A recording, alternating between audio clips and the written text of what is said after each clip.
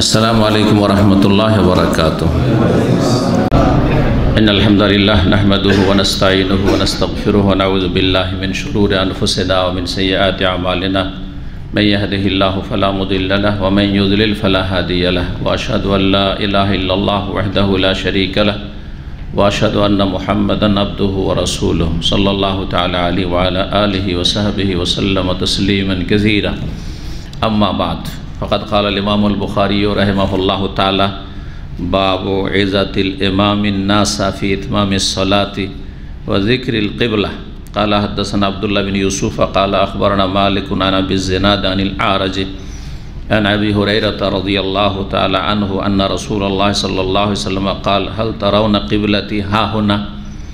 فوالله ما يخفى علي خشوعكم ولا ركوعكم إني لأراكم من وراء ظهري সম্মানিত দিনী ভাতৃমণ্ডলী, আল্লাহ রব্বুল্লা আলমিনের প্রশংসা এবং প্রিয় নবী মোহাম্মদ রসুল্লাহ সাল্লাহ আলী সাল্লামের উপর সালাত সালামের পর আজ জুমাবার বারোই সওয়াল চোদ্দোশো তেতাল্লিশ হেজরি মোতাবেক তেরোই মে দু হাজার বাইশ আমাদের ধারাবাহিক আলোচনা রমজানের পরে আবার আমরা ফিরে আসব রমজানের আগে যেমন জুমার পরে আমাদের সাপ্তাহিক দার্স চলছিল সহিহুল বখারি থেকে।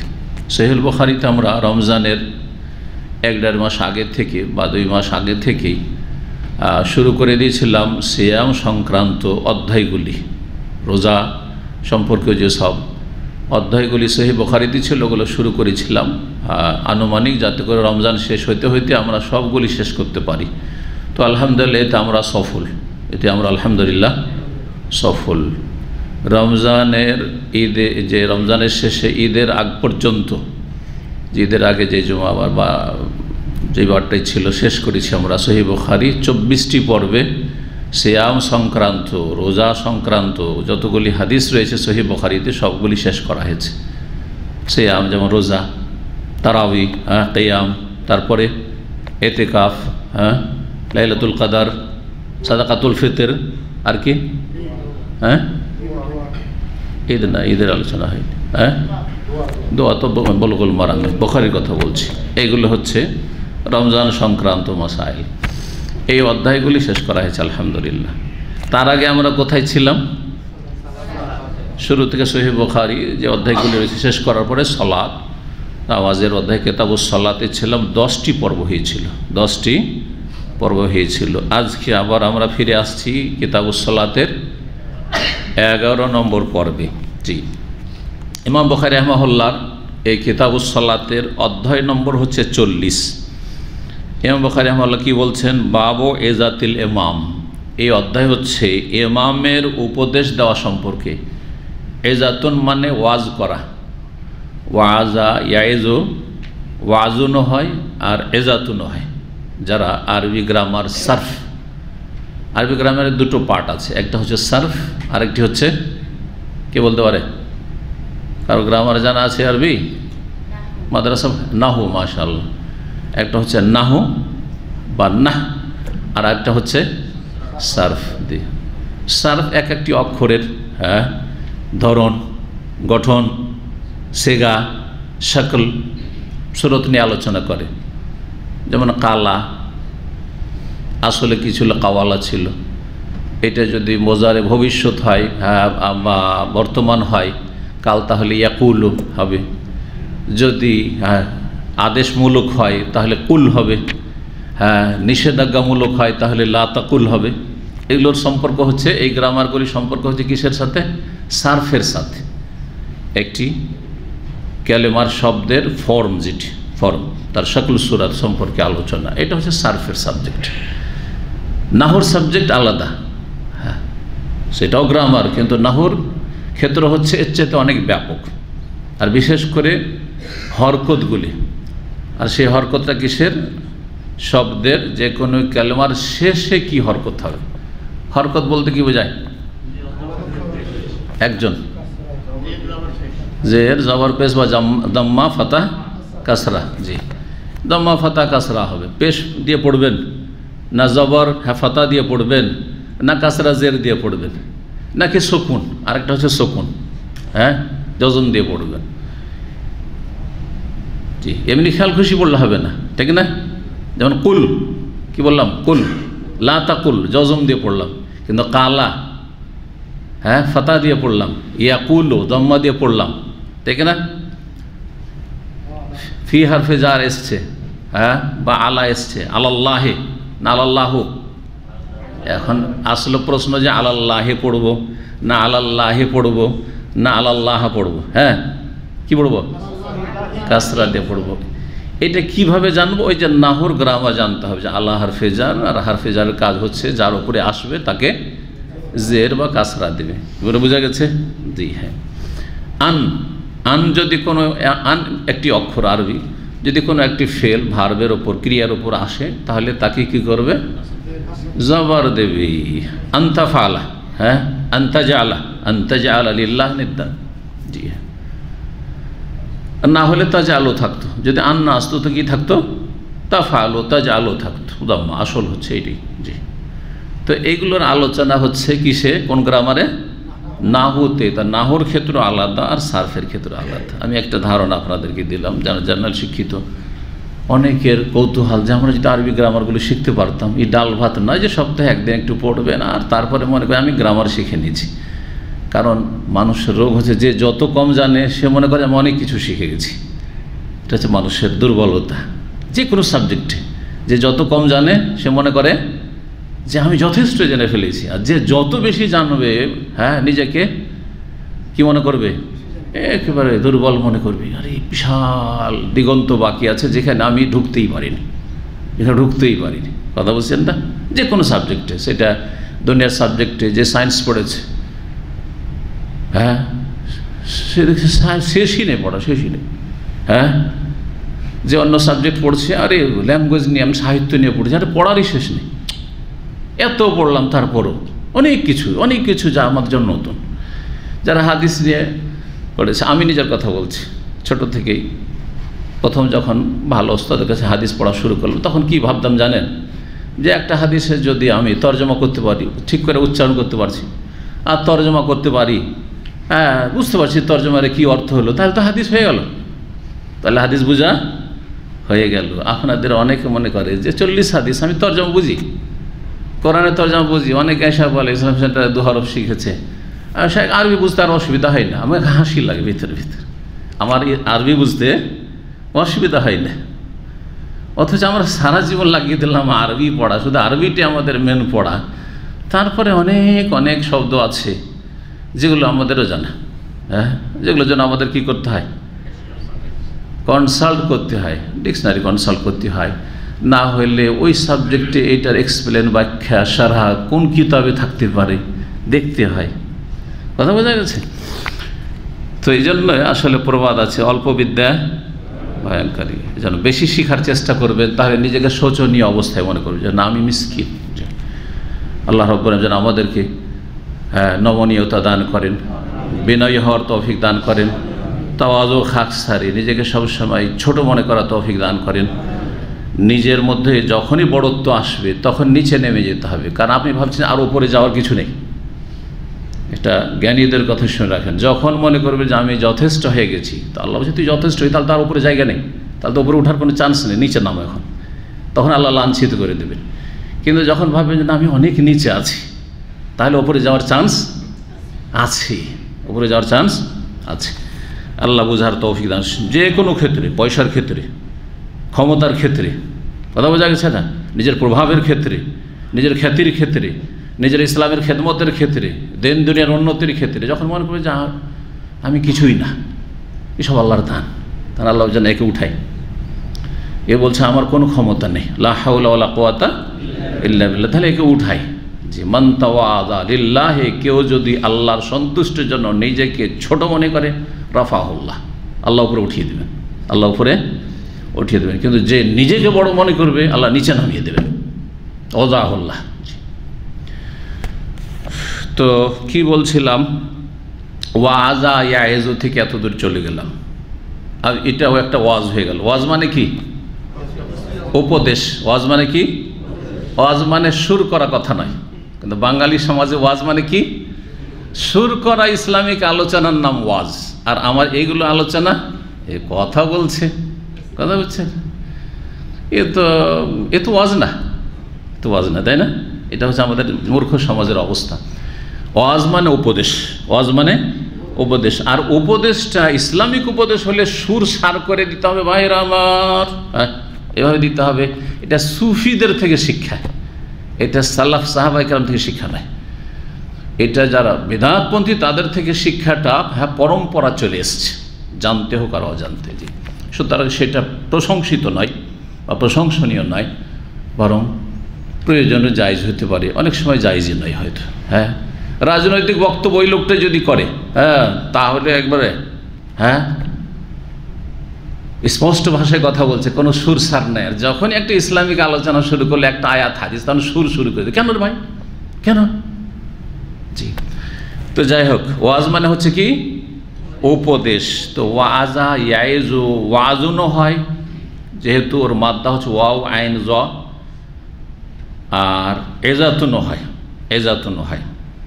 তো এখানে এজাতুন শব্দটি মাসদার। এই অধ্যায় হচ্ছে এমাম সাহেবের উপদেশ দেওয়া, ওয়াজ করা, উপদেশ দেওয়া। আর নাসা জনগণকে মানে মুসল্লিদেরকে। ফিতমামি সলাতে, যে সলাৎ তোমরা পূর্ণরূপে আদায় করো। সলাতে, নামাজে কোনো রকমের ত্রুটি, ঘাটতি করিও না। যে কোনো দিক থেকে হোক না কেন। এই ওয়াজটা, এই উপদেশটা কখন করবে? স্টেজে, খুদবাতে? না না না, এটা বোঝানো হয়নি। যখন একামত হচ্ছে, একামত হয়ে গেল। একামত হওয়ার পরে এমাম উপদেশ দেবে সৌ সফু ফাকুম যে সন্ন্যত সৌদি আরব হল আছে। কাতার গলি তোমরা সোজা করে নাও। এটা দেলু সোজা হয়ে যাও। জি। তারাসু কাতারে কাতার মিলিয়ে নাও। ওয়ালা তাজালু ফরোজাতিল্লি শয়তান শয়তানের জন্য শূন্য স্থান খালি জায়গায় রেখে দিও না, ফাঁকা ফাঁকা রেখে দিও না। সুদ্দুল খালাল, ছিদ্রগুলি বন্ধ করে নাও। এই উপদেশগুলি হাদিসে এসছে না আসে নেই? এই ওয়াজ। এমাম কি করবে? জনগণকে, মুসল্লিদেরকে ওয়াজ করবে, উপদেশ দেবে। কিসের জন্য ফিতমামি সলাদ সলাদ পূর্ণরূপে আদায় করো। তারপরে তাড়াহড়া করিও না। এমামের আগে চলে যেও না। নবী সাল্লাম উপদেশ দিয়েছেন না দেননি সুজুদ রুকু শেষ দেয় আমার আগে আগে চলে যেও না যেমন আল্লাহ আকবর, তার আগে আল্লাহ আকবর, বা তার সাথে সাথে আলো না ফলো করো, পিছনে পিছনে থাকো। বেশি, অনেক পিছনে নয়, যেন অনেকে বেশি মুসল্লি পরেশদারি দেখায়। এমাম সেজদা করে উঠে চলে গেছে, ও সেজদায় পড়ে দোয়া করতে আছে। এটা বিরোধিতা, এটাও জায়জ নয়। যে আপনি বিশ তিরিশ সেকেন্ড হ্যাঁ বা এক এক মিনিট পড়েই আছেন আপনি, না জায়জ এটা বিরোধিতা ঠিক তেমনি আগে বেড়ে যাওয়া, না যায়, সাঁতে সাঁতে চলা মকরু অপছন্দনীয়। সাথে সাথে আল্লাহ আকবর আল্লাহ আকবর। ঠিক আছে? রুকুতে সাথে সাথে রুকু, অপছন্দনীয় মকরু হারাম না হইল। আর যেটা সন্ন্যত সেটা হচ্ছে কি? মোতাবেত ইত্তেবা করা মানে পেছনে পেছনে থাকা, পেছনে পেছনে থাকা। যখন এমাম আল্লাহ আকবর বলবে শুনলেন আল্লাহ আকবর। তারপরে আপনি আল্লাহ আকবর বলেন সাথে সাথে না সলাদ পূর্ণ করবে বিভিন্ন দিক থেকে এই মর্মে কি করা? উপদেশ দেওয়া। এমাম উপদেশ দেবে প্রতিটি সলাতের পূর্বে যখন একামত হচ্ছে বা একামত হয়ে গেছে ওই সময় একামতের পরে এক তাকবির তাহিমার আগে। ওয়াজিকরুল কিবলা এবং কেবলা সম্পর্কে আলোচনা। কেবলা সম্পর্কে আলোচনা। কিবলারও সম্পর্ক সলাতের সাথে। আর সলাতের পূর্ণতার সম্পর্ক সলাতের সাথে। আর এমামের সম্পর্ক হচ্ছে সলাতের সাথে যে এমাম সলাতের এমাম হয়ে থাকে এমামতি করে থাকে, সুতরাং উপদেশ দেওয়ার তার অধিকার আছে মুক্তাদিদেরকে। চারশো আঠারো নম্বর হাদিস এমাম বুখারি রহমহল্লার ওস্তাদ, প্রখ্যাত এমাম আবদুল্লাহ বিন ইউসুফ রহমহুল্লাহ। আর তার ওস্তাদ হচ্ছে এমাম মালিক বিন আনাস চার প্রখ্যাত ফোকাহা এবং এমামের হ্যাঁ অন্যতম, মদিনার ইমাম ইমাম মালিক রহমুল্লাহ তাহলে ইমাম মালিক, ইমাম বুখারির ওস্তাদের ওস্তাদ। সরাসরি ওস্তাদ নয়, কিন্তু ওস্তাদের ওস্তাদ, জি। তার ওস্তাদ, ইমাম মালিকের ওস্তাদ তাবেই আবু জেনাদ। তো ইমাম মালিক তাবা তাবেই। এমাম মালিকের ওস্তাদ আবু জেনাদ আব্দুল আবদুল্লাহ বিন জাকওয়ান ওনার নাম ছিল আবদুল্লাহ এটি কুনিয়াত। ডাক নাম। আর এই নামে এত প্রসিদ্ধ যে আবদুল্লাহ বিন জাকওয়ান নামটি প্রায় লোকই জানে না। হাদিসের তর্জমা যারা পড়ে তারা জানে না। হাদিসের সনদ যারা চর্চা করে, যেমন আমরা হাদিস ফ্যাকাল্টিতে পড়াশোনা করেছি। যার ফলে এই নামটা আপনাদেরকে আমি বলে দিতে পারলাম। কারণ সেই কালে হাজার হাজার নাম এরকম মুখস্থ করতে হয়েছে। হাদিস এসেছে কোনিয়া তোর নাম বলতে হবে। এমনকি জন্ম তারিখ বলতে হবে। তার কালটা ইন্তেকাল বলতে হবে। এগুলো পরীক্ষা আসতো। ভালো রেজাল্ট করলে চিন্তা করবেন যে এক এক হাজার লোকের আনুমানিক বললাম তো অনেক বেশি। যদি জন্ম তারিখ আর মৃত্যু তারিখ মুখস্থ করতে হয়, আর তাদের নাম, বায়োডাটা মুখস্থ করতে হয় আবাকার সিদ্দিক রাজি আল্লাহ তালানো থেকে শুরু করে। হ্যাঁ? আবু বকর সিদ্দিকের কনিয়াত, নাম, উপাধি, আবার তা আসেন ওমার, এইভাবে আর কি। ঠিক না? জি।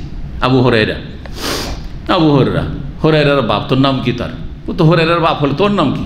ঠিক না? তার নাম কি? এইভাবে। আবু জেনাদ আবদুল্লাহ বিন জাকওয়ান রাহেমহল্লা তাবেই। তাবেইদের তিনটে স্তর আছে। কারও জানা আছে? তাবেইদের তিনটি স্তর আছে। কেউ জানেন? হুম কিচ্ছু জানেন নাকি? এগুলো পড়তে হয়। যখন হাদিস সের সনদ পড়বেন তাহলে পড়তে হয়। একটা হচ্ছে কেবারত তাবেইন, সিনিয়র তাবেই। একটা হচ্ছে আওসাতুত তাবেইন হ্যাঁ? মধ্য শ্রেণির তাবেইন আর একটা হচ্ছে সেগারো তাবেইন ছোট তাবেইন। তিনটি স্তর। কেবারত তাবেইন কারা?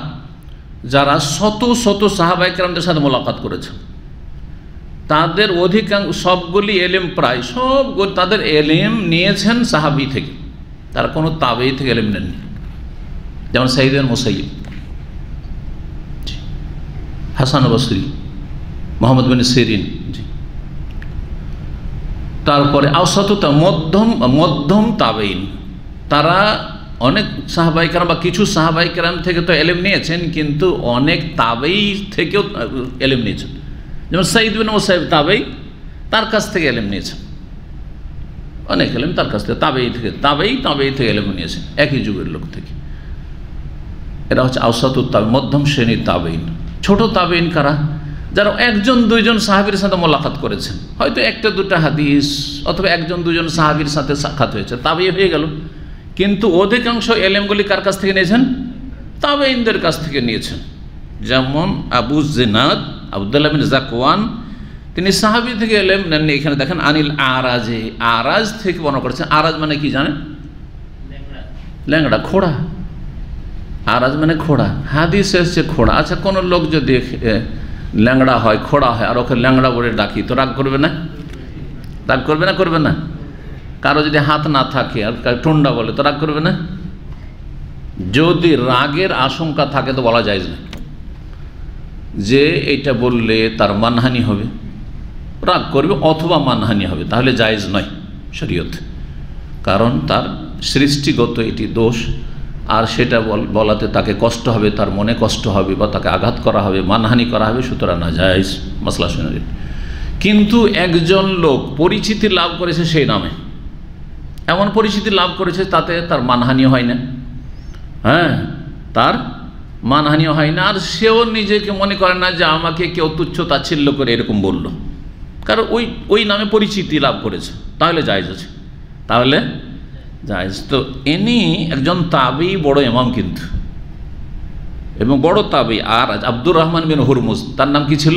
Abdur Rahman bin Hormuz al Araj কিন্তু আব্দুর রহমান বিন হরমুজ বলে কে জানে? আজকাল তো কেউ বুঝবে না। ওই যুগে অনেকেই জানতো না, কিন্তু আরাজ বলে সবাই জানে। কোন আব্দুর রহমান? বলছে, ওই যে আরাজ হ্যাঁ ল্যাংড়া আব্দুর রহমান। বোঝা গেছে না? এই, তো জায়জ আছে। তিনি হচ্ছেন সাহাবির ছাত্র, তাও প্রখ্যাত সাহাবি, যিনি সবচেয়ে বেশি হাদিস বর্ণনা করেছেন, পাঁচ হাজার বেশি। তিনি কে? আন হরেত আবি হরজি আল্লাহ তালামতে বর্ণিত, আন্না রসুল আল্লাহ কা রসুল উল্লাহ বলেছেন, হাল তারাও না কিবলাতি হা হো না তোমরা কি মনে করছ রা ইয়ারা মানে দেখা, আর দেখা দুই রকম হয়। দেখা দুই রকম হয়। কীভাবে দুই রকম হয়? হুম। আজকে মনে হয়েছে কেউ কিছু জানছেন না, মনে হয়েছে কেউ শেয়ার করছেন। একটা হচ্ছে এই চোখ দিয়ে দেখা, আর একটা হচ্ছে অন্তর্দৃষ্টি দিয়ে দেখা। জি। এটি আমি মনে করছি, এই যে আমি মনে করছি বলছি, এটাও দেখা, অন্তর্দৃষ্টি দিয়ে দেখা। তো এখানে তারাও না মানে চোখ দিয়ে দেখা নয়, বরং অন্তর দিয়ে দেখা। হাল তারাও এই জন্য আমি অর্থ করতে গিয়ে কি বলেছি? তোমরা কি মনে করো? তোমরা কি মনে করো। হাল তারাও না কেবলাতি হাও না, তোমরা কি মনে করছ যে আমার কেবলা শুধু এখানে? পশ্চিমের দিকে ধরেন। নবী সাল্লাম মুক্তাদিরা সালাদ শুরু করতে যাচ্ছে। সালাদ শুরু হচ্ছে, একামত হয়েছে। তোমরা কি মনে করছ আমার কেবলা শুধু এই দিকে? আমার কেবলা শুধু এই দিকে? এ কেবলা মানে কি? কেবলা মানে এখানে শাব্দিক অর্থ উদ্দেশ্য। কেবলা মানে হচ্ছে, কেবলার দিকে এমাম সাহেবের নজর থাকে। কেবলার দিকে এমাম সাহেবের কি থাকে? কেবলার পেছন দিকে এমাম দেখতে পাই না। ডানে বামও তাকিয়ে সলাত অবস্থায় দেখতে পাবে না, ঠিক না? যাইজ নয়। তো তোমরা কি ভাবছ যে আমি শুধু সামনের দিকে দেখি, পিছনে দেখি না? ডানে বামে কি হচ্ছে আমি জানি না, বুঝি না? বা দেখতে পাই না? তাহলে কেবলাতি মানে এখানে হচ্ছে দেখা হ্যাঁ বা নজর, দৃষ্টি। হ্যাঁ কি? দৃষ্টি, তাহলে এখন অর্থ করেন। হাল তারাও না কিবলাতি হা হো না তোমরা কি মনে করছ আমার দৃষ্টি শুধু এদিকে আছে? আমার দৃষ্টি কোন দিকে আছে? শুধু এই কেবলার দিকে আছে, আমি সামনের দিক দেখছি, পেছনে দেখি না যে তোমরা কে কি করছ সলাত অবস্থায়? আর কি রকম তোমরা সলাত আদায় করছ? হ্যাঁ আগে যাচ্ছ না পরে যাচ্ছ? না, সব দেখছি। কে খুশুর সাথে শান্তভাবে সলাত আদায় করছ, আর কে বেশি নড়াচড়া করছ, অথবা হ্যাঁ সেইভাবে হক আদায় করে সলাত আদায় করছ না, অমনোযোগী সলাত আদায় করছ, সব বুঝতে পারছি। বুঝতে পারছি অথবা দেখতে পারছি, দুটোই দুটোই অর্থ। বুঝতে পারা অনুধাবন করা অন্তর দিয়ে দেখা। এলম হয়ে যাওয়া যেটাকে এলম বলে, জ্ঞান অর্জন করা, জেনে নেওয়া। আর দেখা মানে চোখ দিয়ে দেখা। তোমরা কি মনে করো, কিবলাতি হা হো না, যে আমার দৃষ্টি শুধু এই সামনের দিকে আছে, কেবলার দিকে আছে? ফাওয়াল্লাহি, আল্লাহর কসম করে বলছি। আল্লাহর কসম করে তাকিদের জন্য বলছেন। অথচ নবী কসম না করলে তো সাহাবিরা বিশ্বাস করবেন। কিন্তু কথাকে শক্ত করে বলার জন্য আরবরা ওই প্রাচীন যুদ্ধ অভ্যাস কসম করতেন। সেটা যেন সীমাহীন না হয়। কথাই কথাই কসম, এটা অপছন্দনীয়। কিন্তু প্রয়োজনে যদিও কেউ কসম দিতে করতে নাও বলে তবু কসম করা যাবে। হ্যাঁ? আল্লাহর কসম করে বলছি। অথচ আপনারা হয়তো আমাকে সন্দেহ করেননি। অথবা আমি বা এটা ভাবছিও না যে আপনার সন্দেহ করিনি, কিন্তু কথাটাকে অকাট্য করে বর্ণনা করার জন্য। এর প্রমাণ। জায়জ আল্লাহ আল্লাহর কসম করে বলছে মায়াকফা আলাইয়া খুশু ওকুম ওয়ালা রুকুম, ওকুম, তোমাদের খুশু বিনয়ী হওয়া, একগ্রতা, ওয়ালা রুকু, তোমাদের রুকু আমার ওপর অস্পষ্ট নাই, আমার থেকে লুকিয়ে নাই। আমি সব জানতে পারছি। কে খুশুর সাথে বিনয়ী হয়ে, একগ্রতার সাথে সলাত আদায় করছ, মনোযোগী হয়ে, আর কে কেমন রুকু করছ, কে কেমন সেজদা করছ। এটি তো খুশু দিয়ে রেওয়ায়ত রয়েছে, কিন্তু অন্য রেওয়ায়তে, মা ফাইলিয়া সুজুদ মালা রুকু তোমাদের রুকু সেজদা আমার ওপর অস্পষ্ট না তোমাদের রুকু সেজদা সব দেখতে পাচ্ছি। তোমাদের রুকু সেজদা আমার ওপর অস্পষ্ট নয়, অজানা নয়, সব জানতে পারছি, দেখতে পারছি। দুটি অর্থ। নবী সাল্লাম জানতেও পারতেন এবং পেছন দিকে, ডানে বামে দেখতেও পেতেন। সব সময় নয় সলাত অবস্থায়। কারণ যতটা আমাদের কাছে দলিল প্রমাণ আছে, ততটা বলব। তার আগে বাড়লে সীমা লঙ্ঘন হবে। নাম আল্লাহ রসুল। আল্লাহ হুজাত প্রথম হাতে বলছেন আল্লাহ এবং রসুলের আগে বাড়িও না। যে কথা আল্লাহ বলেননি, তার রসুল সম্পর্কে রসুল উল্লাহ বলেননি, আপনি বলবেন না। সুতরাং আল্লাহ বলেন যে, নবী আলিমুল গে বলেছেন। নবী হাজির নাজির বলেছেন হ্যাঁ নবীর ছায়া ছিল না, কোথাও আছে? কোনো হাদিস আছে? নবীর পেশাব পায়খানা দেখা যেত না, আছে কোথাও? তাহলে এসব কথা খবরদার বলবে এটা আল্লাহ রসুলের আগে বেড়ে যাও, সীমালঙ্ঘন এটি। সীমালঙ্ঘন, গুমরাহি। জি। কিন্তু দলিল আছে আমাদের কাছে যে সলাৎ অবস্থায় যখন সলাৎ শুরু করছেন, তখন সতর্ক করেছে, দেখো, তোমরা এটা মনে করিও না যে আমি শুধু সামনের দিকে দেখছি কেবলার দিকে। তোমাদের সব কিছু আমার সামনে স্পষ্ট। দেখতে পাচ্ছি। দেখতে পাচ্ছি এবং জানতে পারছি। নবী করিম সাসম সলাত অবস্থায় ডানে বামে পিছনে সব দেখতে পেতেন। এটা তার কি? মজ অসাধারণ কিছু যদি নবী রসুলগণ থেকে প্রকাশ পায়, যেটা আল্লাহর হুকুমে আল্লাহ নির্দেশে, আল্লাহর ক্ষমতা দিন, নবী রসুলের ক্ষমতায় থাকে না। নবী রসুলের ক্ষমতায় ক্ষমতা থাকলে তো মানুষ জানতে পারে। অনেক সময় নবী জানতেও পারেন যে এটা হইতে যাবে। আর কখনো তার পূর্বখানে জানিয়ে দেওয়া হয়েছে যে এটা হবে এখন। এটা তোমার মাধ্যমে এখন ঘটবে। তাহলে মৌজাজার ক্ষেত্রে দুটোই অবস্থা হয়ে থাকে। এগুলো প্রমাণ করে।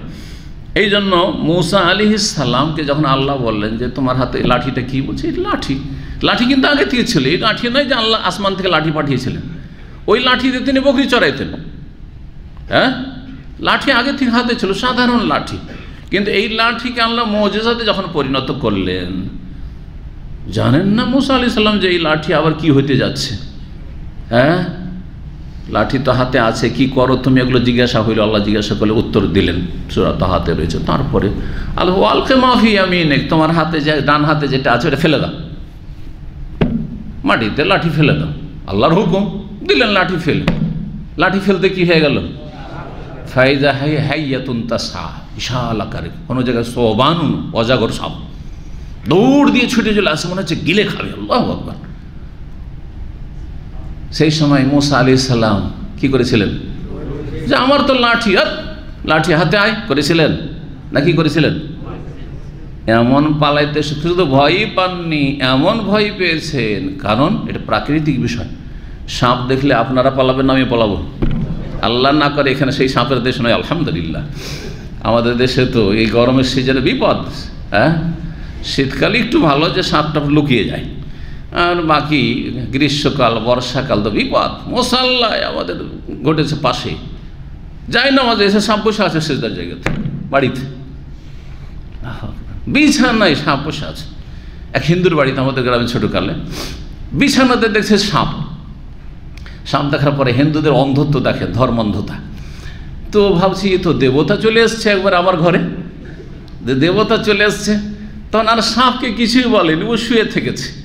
কিছুক্ষণ পরে সাপ তাকে দংশন করেছে, মারা গেছে। সকালে খবর পেলাম মারা গেছে। সাপকে আর তাড়ায়নি দেবতা। ঘরে আমার দেবতা এসছে, কারণ সাপেরও তো পূজা হয়, তাই না? না না সাপ দেখলে মানুষ ভয় পায়, প্রাকৃতিক বিষয়টি। তো মুসা আলি সালাম, মানুষ এটা প্রমাণ করে, আর মানুষ ভয়ঙ্কর কিছু দেখলে ভয় পাবে। হ্যাঁ যাতে জানের খাতরা আছে, বিপদ আছে। এমন পালাইতে শুরু করেছেন, পালানো দুই রকম। একটা পালা হচ্ছে, পালা পালাচ্ছে একটু ঘুরে ঘুরে দেখছে। যদি অত ভয় না থাকে, দূরে আছে।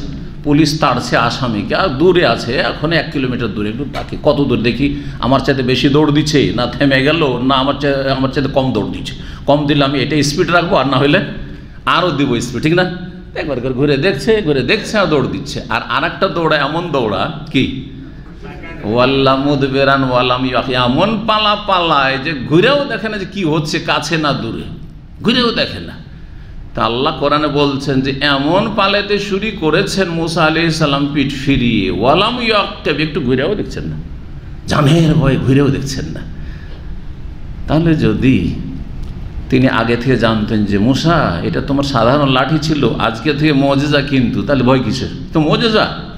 আমি হাত দিলাম আবার স্বাভাবিক অবস্থায় চলে আসবে, তাই না? মজেজা পালাবেন কেন? তাহলে জানাও ছিল না। পরে বুঝতে পারছেন যে এটা মজেজা হয়ে গেছে। আর কখনো কখনো জানতে পেরেছে। নবী করিম সাল্লা সাল্লামকে কখনো কখনো জানিয়ে যে পানির প্রয়োজন পানির প্রয়োজন, পানি নেই। খাবার তো নাই নেই, পানিও নেই সফরে। হয়েছে না হয় নাই? নবী সাল্লামের মজেজা বা কোনো নবীর মজেজা একবারে জিরো থেকে কোনো অস্তিত্ব নেই, অস্তিত্বহীন থেকে হয়নি। এটা প্রমাণ করে তৌহিদ আল্লাহর একত্ব, যে একমাত্র না থেকে জিরো থেকে হিরো বানাইতে আল্লাহ পারেন, কোনো শক্তি পারে না। কথা বুঝতে পারছেন? তৌহিদ। এই জন্য নবী করিম সাল্লামের কোনো মজেজ পাবে না যে কিছুই ছিল একটা দানাও ছিল না, এক ফোঁটা পানি ছিল না, আর সবকে পানি খাইয়ে দিলেন। একটা দানা পানি কিচ্ছু ছিল না, এক মুষ্টি কোনো কিছু ছিল না, আটাও ছিল না, আর এক টুকরো গোস্ত ছিল না, আর অনেক লোককে খাওয়াই দেন এইরকম কোনো ঘটনা ঘটে নাই। গভীরভাবে গবেষণামূলক চিন্তা করে দেখবেন মজেজাগুলি দিয়ে এর মাধ্যমে আল্লাহ প্রমাণ করেছে, এটা কাজ কার? কিছু নেই আমি দিতে পারি। কিন্তু কোনো মানুষ মজেজা তো দেখাইতে পারে না। যে কিছুই নেই আর দেখিয়ে দিল। তাহলে কিছু থাকতে হবে। এই জন্য নবী বললেন যে, যাও, দেখো, এক বাটি, এক ঘটি, এক লোটা কোথাও পানি নিয়ে আসো। একটু পানি নিয়ে আসো। এক লোটা পানি নিয়ে আসা হলো। আর পানিতে হাত রেখে দিল। পানিতে কী করলেন? এবার আঙ্গুল রেখে দেন। আর আঙ্গুল রাখতে এই আঙ্গুলের তলা থেকে একদম ফোয়ারা ছুটে গেল। ফোয়ারা ছুটে গেল, এত ফোয়ারা ছুটলো। পানি পান করে আর যত তাদের কাছে কলস ঘাড়া ছিল সব ভর্তি করে, সব ভর্তি করে নিশ্চিন্ত হয়ে গেলেন যে এই সফরে আর পানির কোনো অভাব নেই। এইভাবে খাবার ক্ষেত্র তাই হয়েছে। অল্প কিছু খাবার আছে আর সেটা থেকে খেতে শুরু করল, খাও খাও খাও খাও খাও, খেতে খেতে খাওয়া দাওয়া শেষ হলে, আরও মনে হচ্ছে বেশি হয়ে গেছে। কিন্তু না থেকে কখনো খাওয়াইতে নবী করিম সাল্লাম পারেননি। কার হাতে থাকে মজে যায় আল্লাহর হাতে। ওই রকমই যদি আল্লাহর কোনো নেক বান্দা তৌহিদ সন্ন্যতের অনুসারী হয় শির বেদাতকারী, পীর মরিদি ব্যবসায়ীরা নাই যাদেরকে অলি মনে করা মনে করা হচ্ছে। আসল সত্যিকার অলি হচ্ছে সাধারণ অলি প্রত্যেক মুসলিম, আল্লাহর। আর বিশিষ্ট অলি হচ্ছে কোরআন সন্ন্যার এলম যারা রাখে এবং কোরআন, সন্না অনুযায়ী যারা আমল করে। তৌহিদবাদী সন্ন্যতের অনুসারী যারা। কথা বুঝতে পেরেছেন না? শের বিদাত নিয়ে কখনো অলিউল্লাহ হতে পারে না। অলিউ শয়তান হতে পারে। জি। অসৎ লোকদেরও অসাধারণ কিছু দেখা যেতে পারে। সৎ লোকদের মাধ্যমে কোনো যদি অসাধারণ কিছু দেখেন, তার নাম কি? কেরামত। কেরামত মানে সম্মানিত করা, সম্মান। আল্লাহ সম্মানিত করেছেন নেক লোকদেরকে, অসাধারণ কিছু দেখিয়ে। নবী নয়, কিন্তু আল্লাহর নেক বান্দা।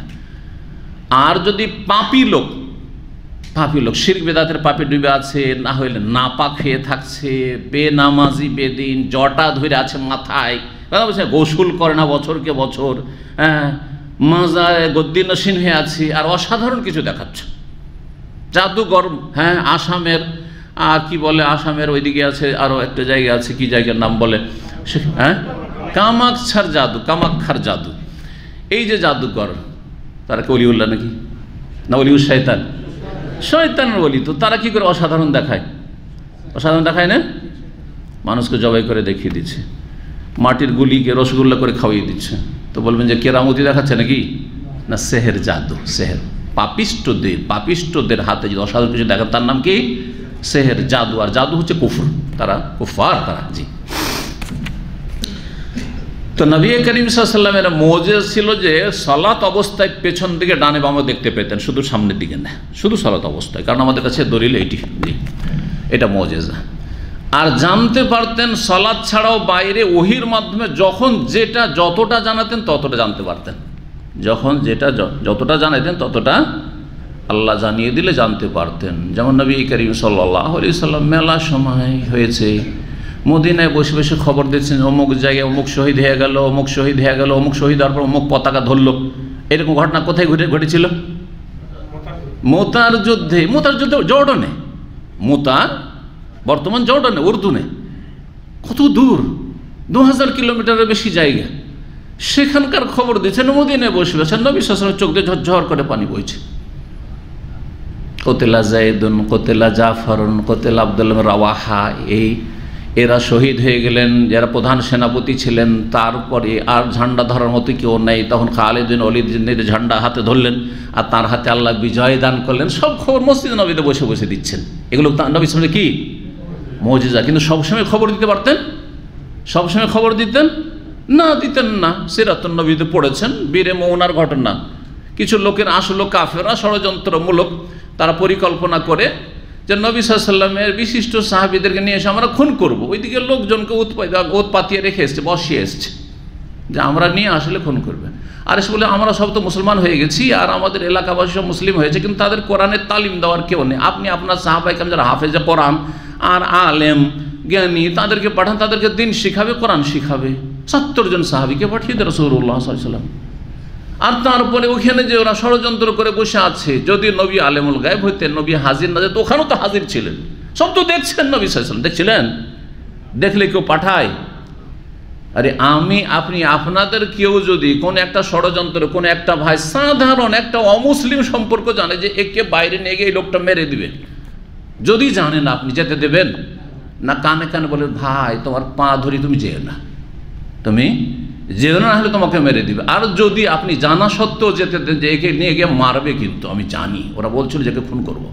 আর তারপরে কিছু বললেন না, তা আপনিও খুনি। আপনিও কি? খুনি না? তাহলে যারা নবীকে আলমুল গায়েব বলে হাজির নাজের বলে বেরেলবি ফির খায় তারা নবীকে খুনি সাব্যস্ত করল না নজবিল্লা ঠিক কিনা? নবীকে অপরাধী সাব্যস্ত করল না? জি। এই জন্য যারা এ নবী সাল্লাম সম্পর্কে বাড়াবাড়ি করেছে, তার নবীকে অপরাধী সাব্যস্ত করেছে, নবীর মানহানি করেছে। আর যারা ঘাটতি করেছে হ্যাঁ তারাও অপরাধ করেছে। দুটোই অপরাধী দল। নবী শাসনকে আল্লাহ যে স্থানে রেখেছেন, সেখানে রাখতে হবে। তার ওপরে উঠাইলো অপরাধ আর নিচে নামালো অপরাধ। এই জন্য কালেমা শাহাদাতে শেখানো হয়েছে, যাতে আমরা মধ্যম কথা বলা বলি আবদুল্লাহ ও রাসুল ওয়াসদ আন্না মোহাম্মদান আবদহ আর রসুল। কিন্তু রসুলের সাথে কি? আবদ, বান্দা, মাবুদ নয়। আব, তিনি বান্দা, তিনি মাবুদ নান মাহবুদ আল্লাহ, সৃষ্টিকর্তা বলছেন যে আমার ওপর কোনো কিছুই অস্পষ্ট নেই। জাহারি। আরও তাকে করে বলছেন, আমি অবশ্যই তোমাদেরকে দেখতে পাই আমার পেছন দিক থেকে। তোমার আমরা, তোমরা আমার পেছনে কীভাবে সলাত অবস্থায় আছো সব দেখতে পাই। সুতরাং সতর্ক, সাবধান, তোমরা ভালো করে সলাত আদায় করো। চারশো উনিশ নম্বর হাদিস, আনাস আল্লাহ তালাহন থেকে বর্ণিত। আমরা ওই সনদগুলো আর পড়ব না, কারণ সময় লেগে যাচ্ছে। সাল্লাহ বেন নবী সাল্লাম সলাত, আর নবী সাল্লাম আমাদেরকে কোনো একটি সলাত পড়ালেন মানে এমামত করলেন। সাল্লার সেলা প্রিপোজিশন ইংলিশ গ্রামারে যদি হারফেজার বা আসে, তাহলে সলাত নিজে পড়ানো নয়, সলাত পড়ানো, মোতাদ্দি হয়ে যায় হয়ে যায়। লাজেম থেকে, ফেল লাজেম থেকে কি হয়ে যায়? ফেল মোতাদ্দি মানে আমাদের নামাজ পড়ালেন। তো নামাজ পড়ালেন না মানে? এমামতি করলেন। এমামতি করলেন, এই অর্থ বহন করে কোন এক সলাদ ছিল, সুম্মা রাকা রাকি আল মেম্বার, তারপরে মেম্বারে আরোহণ করলেন। তাহলে নবী সাল্লাম সলাদ শেষ করে মাঝে মাঝে কোনো কিছু আলোচনা করার জন্য কি করতেন? মেম্বারে চললেন এটা একটি গুরুত্বপূর্ণ মাস আল্লাহ প্রমাণ করে। সেটা হচ্ছে জনগণ বা মুসল্লি, কোনো একটা আলোচনা সভায়, জি, যিনি আলোচক হবেন, তিনি উঁচা জায়গায় বসা জায়েজ না জায়েজ নয়। জায়েজ দলিল এই হাদিস। আমি যেমন উঁচা জায়গায় বসে আছি স্টেজে চেয়ারে বসে আছি, সামনে টেবিল আছে, আর উঁচা স্টেজে বসে আছি, এর চাইতে উঁচা হইতে পারে, আপনারা নিচে বসে আছেন। কেউ তো এসে বলতে পারে যে এটা বৈষম্য না। ঠিক না এটা বৈষম্য না। এটা অহংকার না। এটা অহংকার বহিঃপ্রকাশ না। এটা কি না জায়েজ? বলছে দলিল দেখো। নবী এ করিম সাল্লা সাল্লাম মুসল্লিরা নিচে বসে আছেন, আর তিনি কিসে চড়লেন? মেম্বারে চড়লেন তো মেম্বারে খুদবা শুধু জুমার খুদবা ঈদের খুদবা নয়, জুমার খুদবা ঈদের খুদবা ছাড়া এমনিও সালাতের পরে মেম্বারে চললেন কারণ উঁচা জায়গা থেকে যদি অ্যাড্রেস করা হয়, সম্বোধন করা হয়, তার তাসির, প্রতিক্রিয়া অনেক বেশি। সবাই দেখতে পাচ্ছেন। এই জন্য পাশের রুমে আমরা যখন তিনতলে আলোচনা করছিলাম, পাশের রুমে যারা শুনছিলেন, তাদের মন ভরছিল না। কথা ঠিক না? আপনারা বলছেন, এই জন্য ভিড় ভাড় লাগিয়ে দিচ্ছিলেন। হ্যাঁ আগে থেকে দখল করা অনেকে চেষ্টা করছেন যে বুকিং দিয়ে যায় জুমার আগে এসে, তাই না?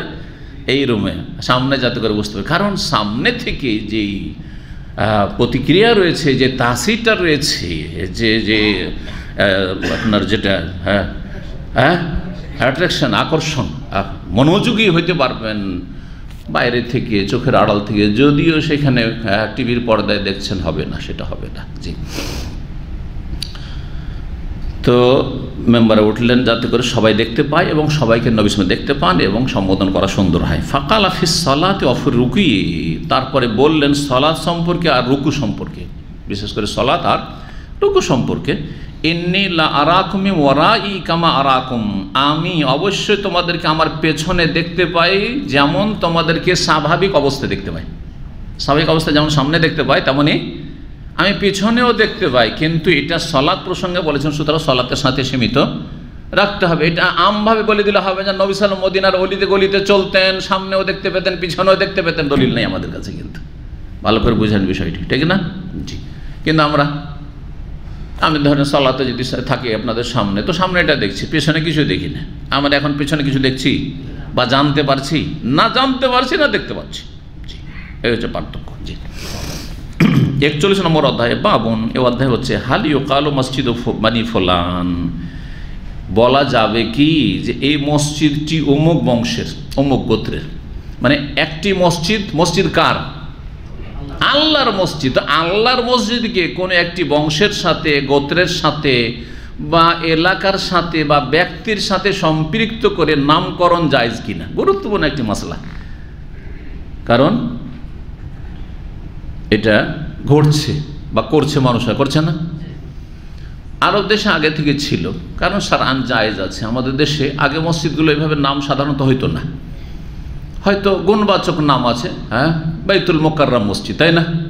কিন্তু অমক মসজিদ মসজিদ আবদুল্লাহ বিন মসুদ আবদুল্লাহ মসজিদ মসজিদ হ্যাঁ? মসজিদ আবি হরাইরা, মসজিদুল ইমাম বুখারি, তাই না?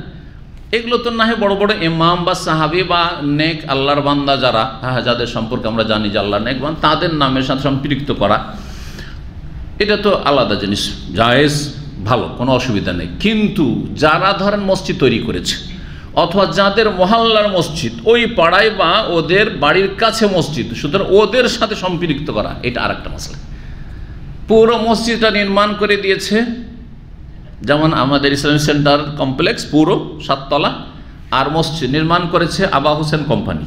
আবু হোসেন কোম্পানি।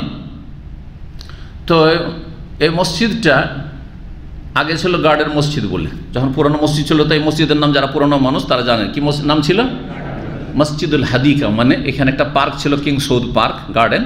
Garden মসজিদ বলে পরিচিত ছিল। পরে নামকরণ কি হয়ে গেল? নতুন মসজিদ তৈরি যারা করল, তাদের নামে বা তাদের কোম্পানির নামে মসজিদ আবা হোসেন।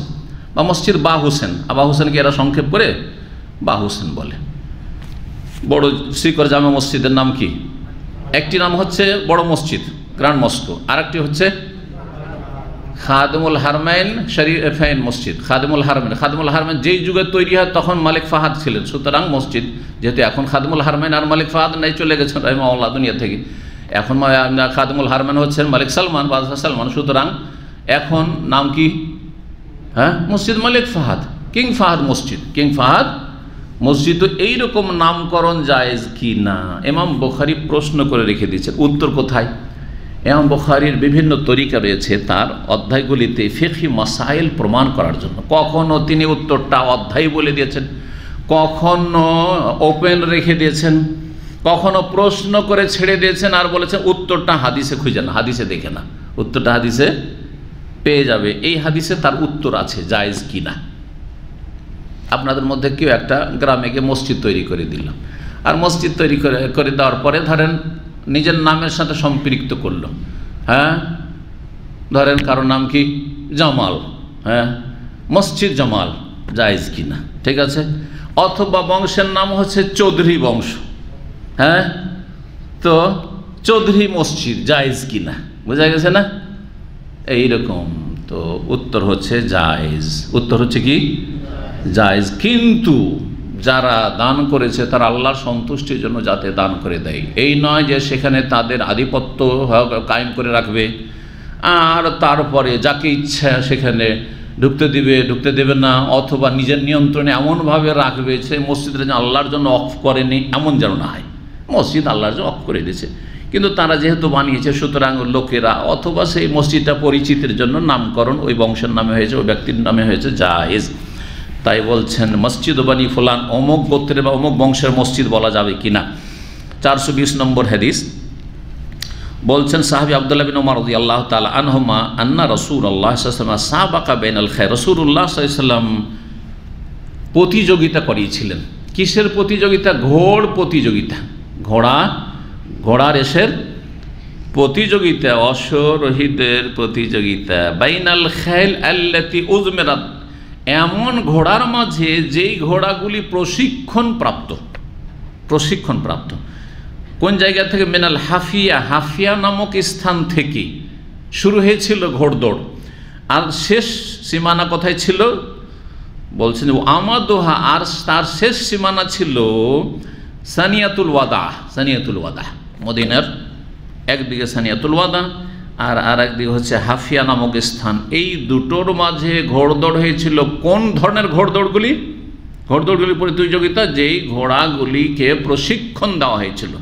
হ্যাঁ ট্রেন ঘোড়া যেগুলো, দৌড়ের জন্য ট্রেনিং দেওয়া ছিল, আগে থেকে প্রশিক্ষণ দেওয়া ছিল। সেগুলোকে প্রস্তুত করা ছিল। এজমার শুধু এই নয় যে শুধু দৌড়ার প্রশিক্ষণ দৌড়াতে অভ্যস্ত করা বরং দৌড়ের সাথে সাথে তাদের শরীর চর্চার ব্যবস্থা করা। ঘোড়ারও শরীর চর্চা এবং শরীরকে কন্ট্রোল করার সিস্টেম ওই চোদ্দোশো বছর আগেও ছিল। হ্যাঁ, সেটা ইজমার বলা হয় মূলত। অনুবাদে কথা এগুলো পাবেন না। এগুলো ব্যাখ্যাতে জানতে হবে যে এজমারটা কেমন করে হতো। এজমার হচ্ছে প্রথম ভালো ভালো খাবার দিয়ে ঘোড়াকে মোটা করে দাও। শরীর স্বাস্থ্য একদম হয়ে গেছে হেভি স্বাস্থ্য হয়ে গেছে, ঘোড়া। দেখতেই চমৎকার লাগে। আর তারপরে ধীরে ধীরে খাবার কমিয়ে দেওয়া ডায়েট কন্ট্রোল করতে করতে করতে ঘোড়া শরীর শুকাবে। ঘড়ি যখন, ঘোড়া যখন শরীর শুকিয়ে যাবে, কিন্তু এনার্জি অনেক বেশি। কারণ শরীরে এনার্জি আছে হ্যাঁ ভালো ভালো খাবার খেয়েছে ঘোড়া, ভালো ভালো খাবার খেয়েছে। আমরা যখন ঘোড়া, আমাদের, আমরা তো টমটমের যুগের মানুষ আমরা কিন্তু। আমরা আমাদের এলাকাতে টমটম এত বেশি ছিল যে টমটমই ব্যবহার করতাম। আমার ছেলেদেরকে দুই হাজার পাঁচে যখন নিয়ে যায় ছেলে মেয়েদেরকে, টমটম তারা পাগল হয়ে গেছে, কারণ জন্ম হয়েছে এইখানে আর টমটম থেকে টমটম ছাড়া কিছুতেই চড়বে না। বাঁশ বাদ দিয়ে টমটমে চড়বে, বাঁশ আছে না না, টমটমে চড়বে। তো শখ করে টমটম চড়াইতাম, যে চলো, এখানকার সবটা যদিও বাস আছে, যদিও সব কিছু অন্য অন্য ব্যবস্থা আছে, রিক্সা আছে, চলে, টমটমে, রিক্সা বাদ দিয়ে টমটম জি কিন্তু এখন টমটম উঠে গেল কিন্তু, উঠে গেল তো টমটম বলছেন তো? ঘোড়ার গাড়ি। জি হ্যাঁ। তো কি বলছিলাম? তার খাবার কন্ট্রোল করতে করতে খাবার কমাচ্ছে, দৌড়াচ্ছে। খাবার কমাচ্ছে, দৌড়াচ্ছে, করতে করতে খাবার যখন কন্ট্রোল করে শরীর যখন শুকিয়ে আসলো, এখন এমন অ্যাক্টিভ হয়েছে ঘোড়া যে শুধু লাফায়। শরীর হালকা হয়ে গেছে, শরীরে এনার্জি আছে আর হালকা হয়ে গেছে, শুধু লাফায়। এত দৌড় দিতে পারে। তো এইভাবে এজমার করা হয়। এজমার থেকে উজমেরাত, আল্লেতি উজমেরাত যেসব প্রশিক্ষণপ্রাপ্ত ঘোড়া, সেগুলির মোসাবাকা বা প্রতিযোগিতা করিয়েছেন রসুল্লাহ সাল্লাম হাফিয়া নামক স্থান থেকে, যেটা শেষ প্রান্ত ছিল সানিয়াতুল ওয়াদা। জি। ওসাবাকা বেন আল খেইল, আর নবী সাল্লাম আরেকটি প্রতিযোগিতা করিয়েছিলেন এমন ঘোড়াগুলির মাঝে আল্লাতিলাম তুজমার, যেগুলি প্রশিক্ষণ প্রাপ্ত নয়, সাধারণ। যেগুলি এইভাবে ডায়েট কন্ট্রোলের যে সিস্টেম এবং সেগুলি দৌড়ার যে ট্রেনিং ওই সব করা ছিল না, প্রতিযোগিতা করে, সাধারণ ঘোড়া দিয়ে। কোন জায়গা থেকে? মিনাসানিয়া সানিয়াতুল ওয়াদা থেকে শুরু করে এলা মসজিদ বানি জোরাইক বানু জোরাইক মসজিদ পর্যন্ত, বানু জোরাইক মসজিদ পর্যন্ত, একটা মহল্লা যেখানে জোরাইক বংশের লোকেরা বা গোত্রের লোকেরা বাস করত। সেখানে একটি মসজিদ ছিল, ওই মসজিদের কাছ পর্যন্ত, শেষ সীমান্ত ছিল এর দৌড়ের ঘোড় দৌড়ের ওই পর্যন্ত তো মসজিদের নাম কি বললেন? হ্যাঁ সাহাবি আবদুল্লাহ বিন উমার? মসজিদ বানু জোরাইক। তার মানে মদিনার লোকেরা জানতো যে ওইটা মসজিদ কি? বানু জোরাইকের মসজিদ। আরও কেবলার পরিবর্তন যে হয়েছিল, কোন মসজিদে? কোন মসজিদে? কিবলাতেন। পরের নাম হলো কিবলাতেন, কখন নাম হইল? যখন কিবলা পরিবর্তন হলো, একই সলাদ দুই কিবলায় আদায় করা হয়েছে। কিছুটা অংশ শুরু করা হয়েছিল সলাতের হ্যাঁ বাইতুল মুকাদ্দাসের দিকে মুখ করে বা কিবলা করে, আর তারপরে ঘুরিয়ে দেওয়া হলো রুকু অবস্থায় কোন দিকে? কাবার দিকে। তো দুই কিবলায় একই সলাদ যেহেতু আদায় করা হলো, সেই জন্য কিবলা তাই দ্বিবচন তাসনিয়া। দুই কিবলা ওয়ালা মসজিদ।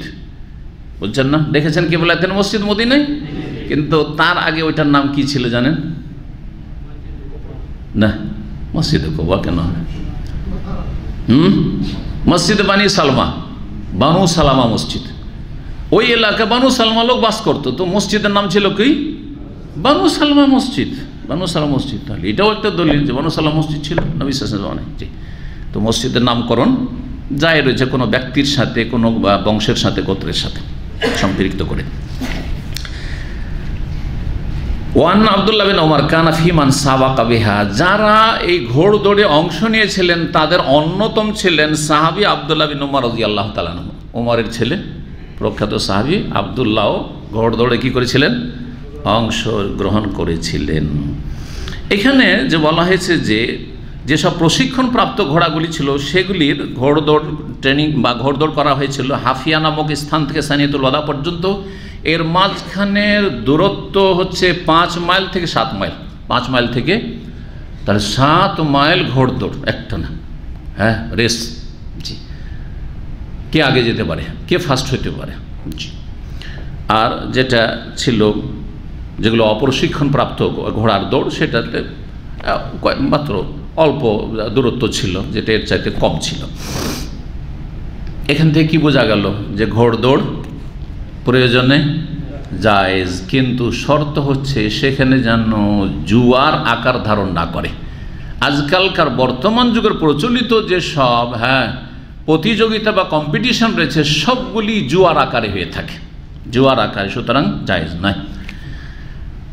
ঘোড়দৌড় যদি তৃতীয় পক্ষের পক্ষ থেকে হয় বা যে কোনো রেস, সেটা জায়জ। মহিলাদের নয়। যে মহিলা, মহিলাদের আজকাল যেমন হচ্ছে, এগুলো তো না যায়জ কারণ মহিলাদের।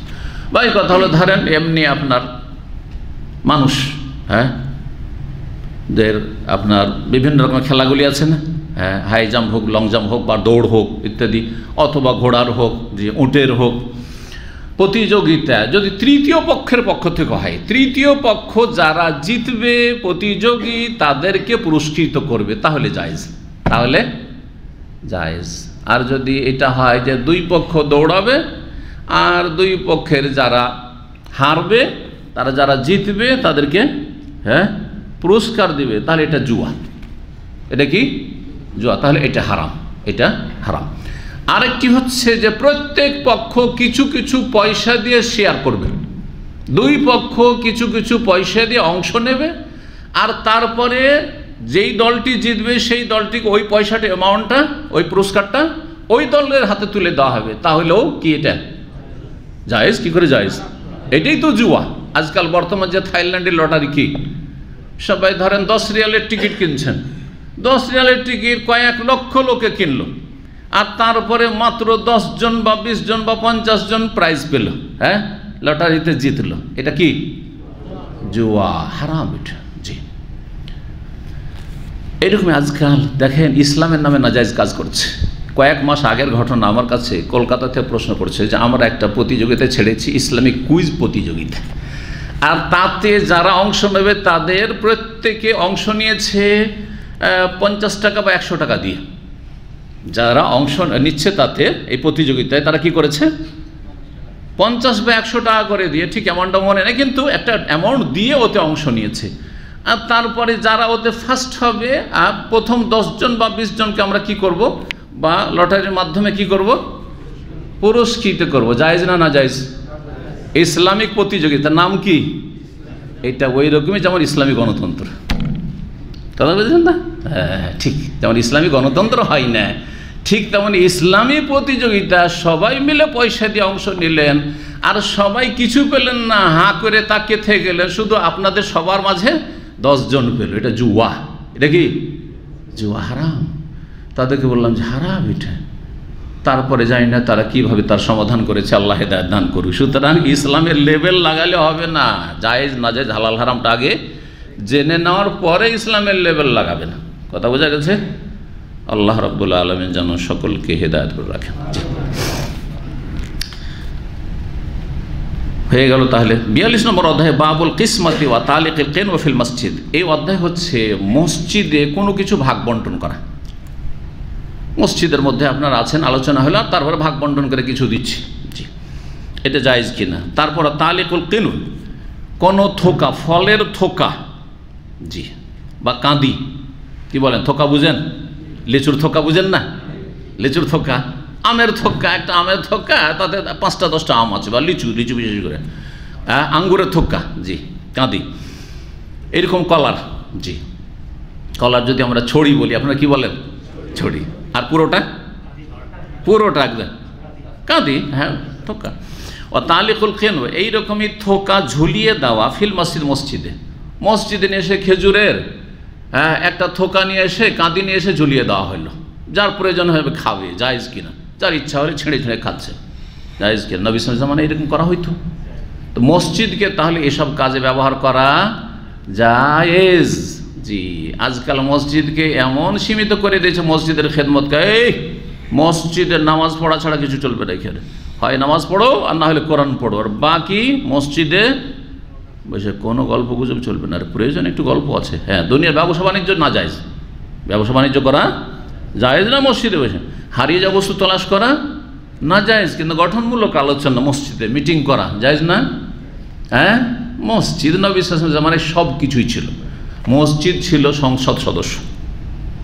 মসজিদ ছিল নবী করিম সাল্লামের যুগে আদালত। মসজিদ ছিল সেখানে ইসলামী দণ্ডবিধান জারি করার, ঘোষণা করার জায়গা সেখান থেকে ঘোষণা করা লাভ যাও, নিয়ে যাও, একে বেত্রাঘাত করা হোক একে শাস্তি দাও এই করা হোক। মসজিদ থেকে জেহাদের ঘোষণা করা হতো, জেহাদ ফিসাবিল্লাহ মসজিদ জিকির আজকার জন্য।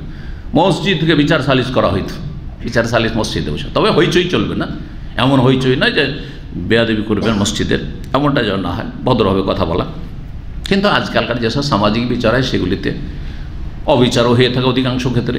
আর তারপরে হইচই হ্যাঁ চেঁচামেচি, আর অকথ্য ভাষার প্রয়োগ ইত্যাদি সুতরাং সেগুলি হলে জায়জ নয়, আলাদা বিষয়।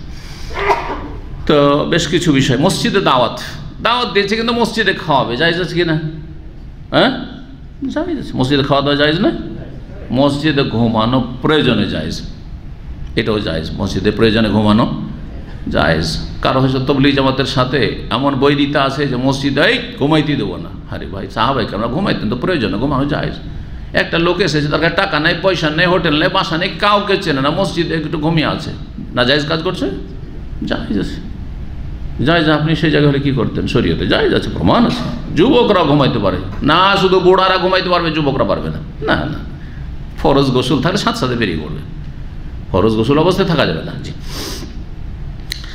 তো ইত্যাদি ইত্যাদি। চলেন একটা করে। মসজিদে এসে বলা হলো যে আপনারা মসজিদে বসে আছেন, মুসল্লিদেরকে আমি দাওয়াত দিলাম, আসেন আমার বাসায়। জায়েজ কিনা? আসছে, অধ্যায় আসছে। একটা করে চলি। তো কোনো কিছু ভাগ বন্টন করে দাও। মসজিদে কিছু জিনিস এসছে। আমাদের দেশে মসজিদে জুমার দিনে কি আসে? বাতাসা। হ্যাঁ? আরও কিছু জিলাপি যে এসব এসছে, বিতরণ করা, অনেক হতো জিজ্ঞাসা করো, জায়েজ যদি, খেজুর যদি জায়েজ হয়, তো ওটা কেন জায়েজ হবে না? জায়েজ জায়েজ। কাল আবু আবদুল্লাহ ইমাম, আবু আবদুল্লাহ ইমাম বখারি আমল বলছেন যে আল কিনও যেহেতু এই শব্দটি এসছে কিনউন আর ইজকুন হ্যাঁ কিনউন মানে হচ্ছে থোকা, কাঁদি, আর ইজকুন মানে হচ্ছে ওই যে থোকা বা কাঁদি। ওয়াল ইসনানে কেনওয়ানে দ্বিবচন, দুটো কাঁদি, দুটো থোকা কেনওয়ান ওয়াল জামাত আইজান, আর বহু বচনও কেনওয়ান। জি, কেনওয়ান হয়ে থাকে। কোরআনে কেরমে যেহেতু শব্দ এসছে কেনওয়ানুন দানিয়া। জি, থোকা হ্যাঁ নিকটস্থ, কাছে, ঝুলে আছে, এরকম থোকা, কেনওয়ানুন দানিয়া। বহু বচনের ক্ষেত্রে। কেনওয়ান শব্দটি মিসল সেনওয়ান ও সেনওয়ান, যেমন কোরআনে কেরমে সেনওয়ানুন গাইর সেনওয়ান এসছে। সেনওয়ান এক বচন আর সেনওয়ান বহু বচন। সেনোন আদি বচনও হয়ে থাকে। জি সেনোয়ানে তো সেনুন মানে কি? কেনুন মানে তো হয়ে গেল। কেনুন মানে কি বললাম? থোকা বা কাঁদি বললাম। জি। কিন্তু সেনুন মানে কি? সেনুন হচ্ছে এমন খেজুরের হ্যাঁ গাছের হ্যাঁ অগ্রভাগ বা ওপর ভাগ যেই খেজুরের গাছের অগ্রভাগের শেকড়টা এক। শেকড় এক, কিন্তু কয়েকটি কি রয়েছে?